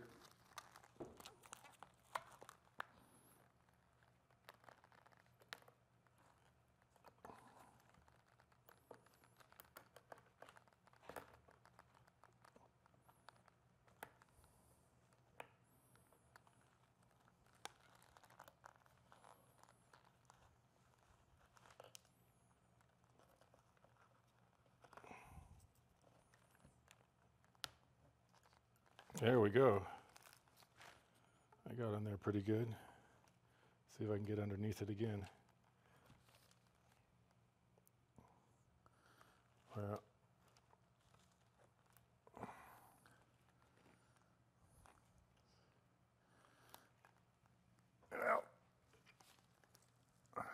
So that's mounted.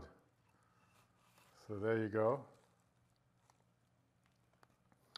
Now what'll happen uh, is this little back shield. See, there's two kinds of, of fronds on a, on a uh, staghorn fern. These fronds are sporophyte fronds. They make spores on the tips. Now these are too young to have any spores on them yet. But then they also have the sterile back frond, which are these brown fronds. And of course, when they first grow out, they're green.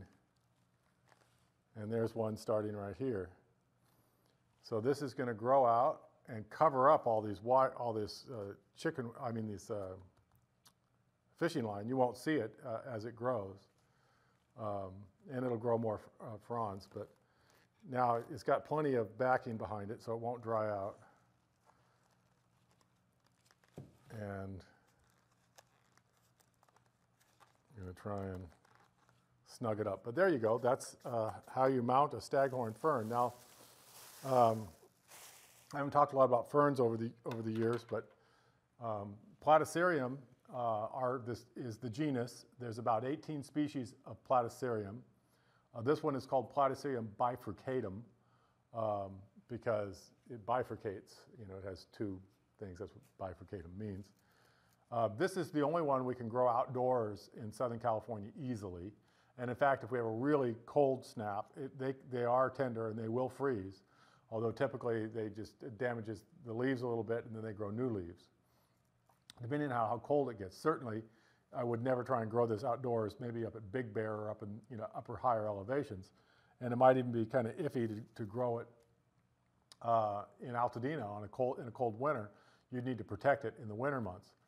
Um, there are other species that really, uh, most of the other species really cannot take anything much below 55 degrees.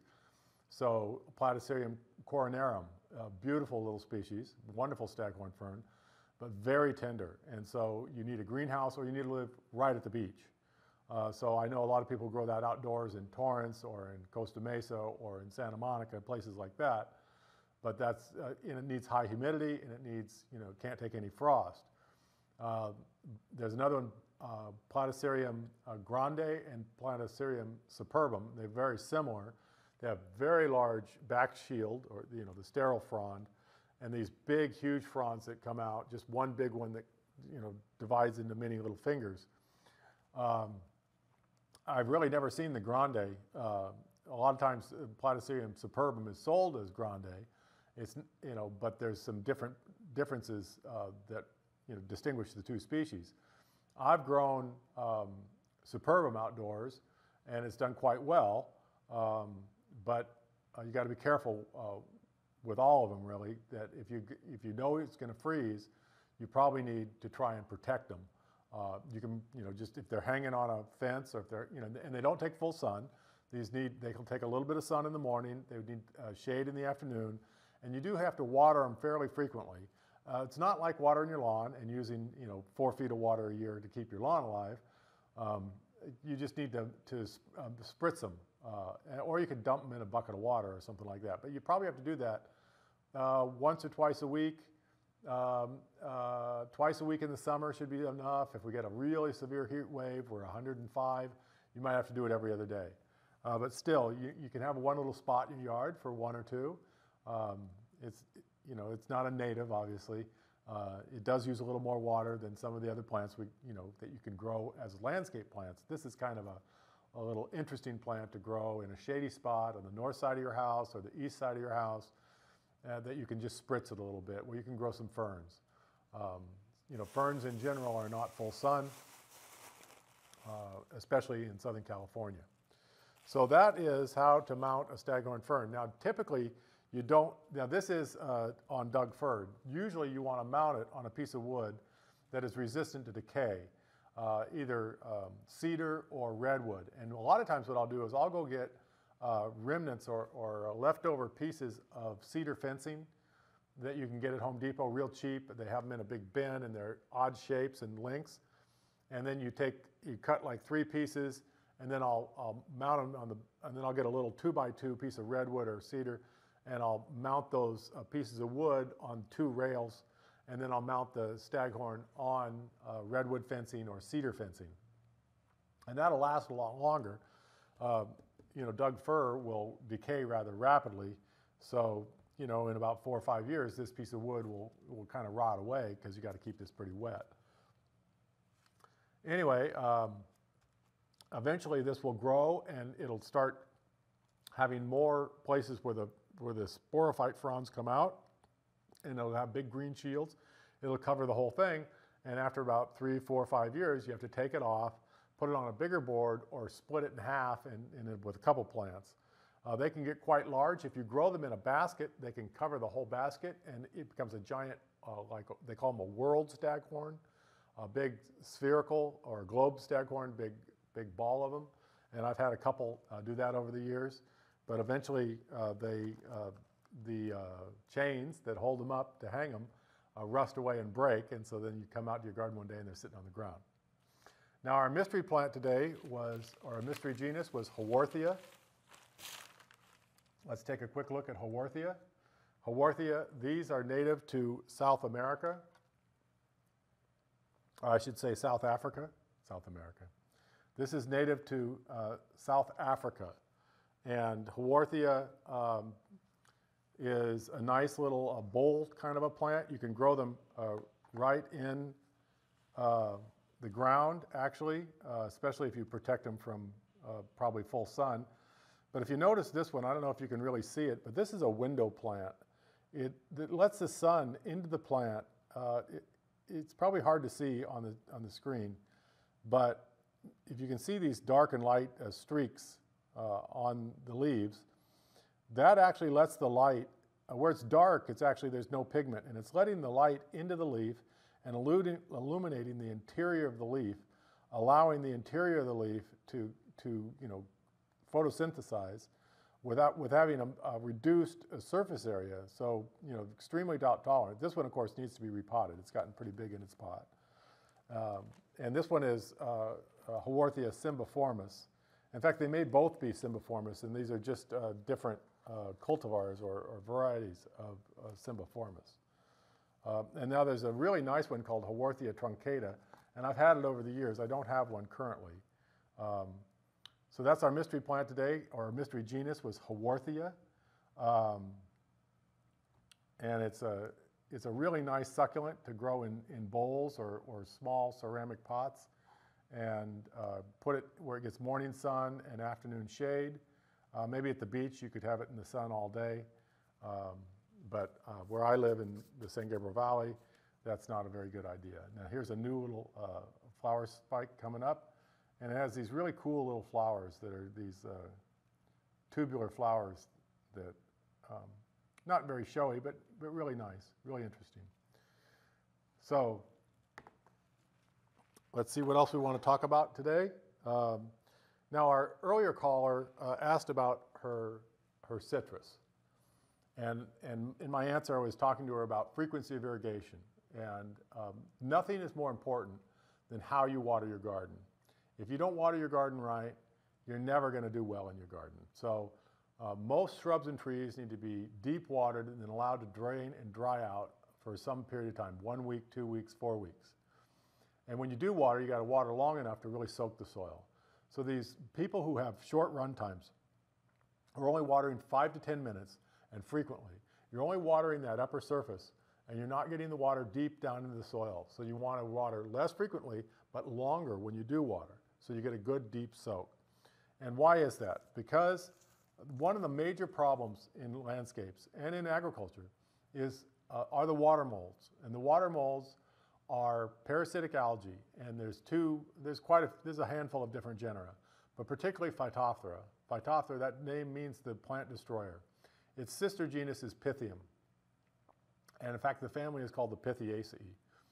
And those two are probably the two most common. There's some others that are important too. The, the, the downy mildews are also water molds, uh, Peronospora, Pseudoperonospora, Brimmium. Uh, but so how do you control the water molds? It's all, number one, how frequently you water. So if you are keeping your soil wet by watering frequently, you will get problems with root rot. You'll get either Pythium root rot or Phytophthora root rot.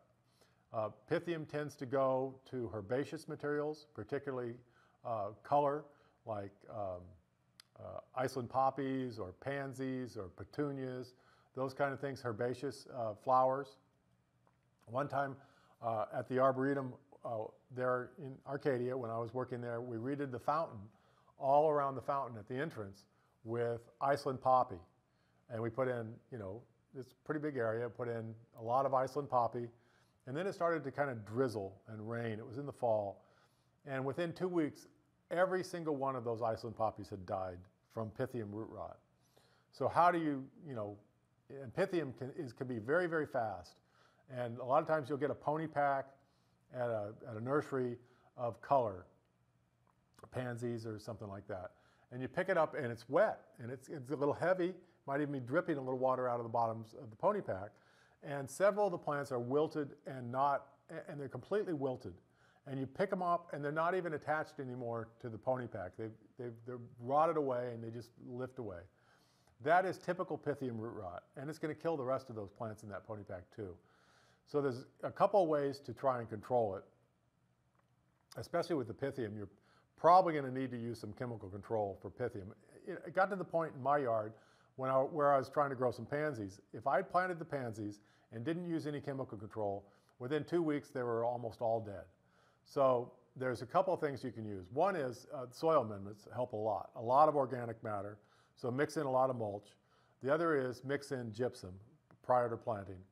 Uh, gypsum is calcium sulfate, and high calcium levels inhibit uh, both Phytophthora and Pythium. And then um, you probably need to use uh, one of the chemicals that controls it. And there's, there's really two chemistries that people are using. One is Subdue. Now, Subdue is kind of hard for most homeowners to get. But Subdue is, uh, the active ingredient is called metalaxyl. And it's very effective at controlling um, both Phytophthora and Pythium, although when used extensively for long periods of time, uh, people have noticed resistance. The other one are the phosphorous acids or the phosphonates. And the first one introduced was called Aliette, and that's an aluminum salt of phosphorous acid. And now you can actually get fertilizers that are equivalent to that. Uh, and for the most part, you know, the phosphonates are very, very low toxicity materials. They're not dangerous chemicals. They really have no other uh, activity. So there's Phosgard that you can get from JH Biotech in uh, Ventura. There's uh, from Biagro up in the Central Valley. You might have to look around to get those, or you can get Aliette. And there's also a new one called Agrifos. Not all that new, but that's out there in the, in the nurseries, uh, probably the better nurseries. I don't know if Home Depot will have it. But that's the water molds, and that's when I'm always talking about watering, the why am I talking about watering so much? It's because of the water molds. If you keep your soil wet, you're going to lose plants. So drainage, improve your drainage. Don't water so frequently. High organic matter, high calcium, and use the chemicals, and you'll be much more successful. So that's uh, everything we got to talk about today. I want to thank our crew in the uh, control room for all their hard work helping put on the show. We'll be back next week with another episode of Gardens of California. Until then, happy gardening.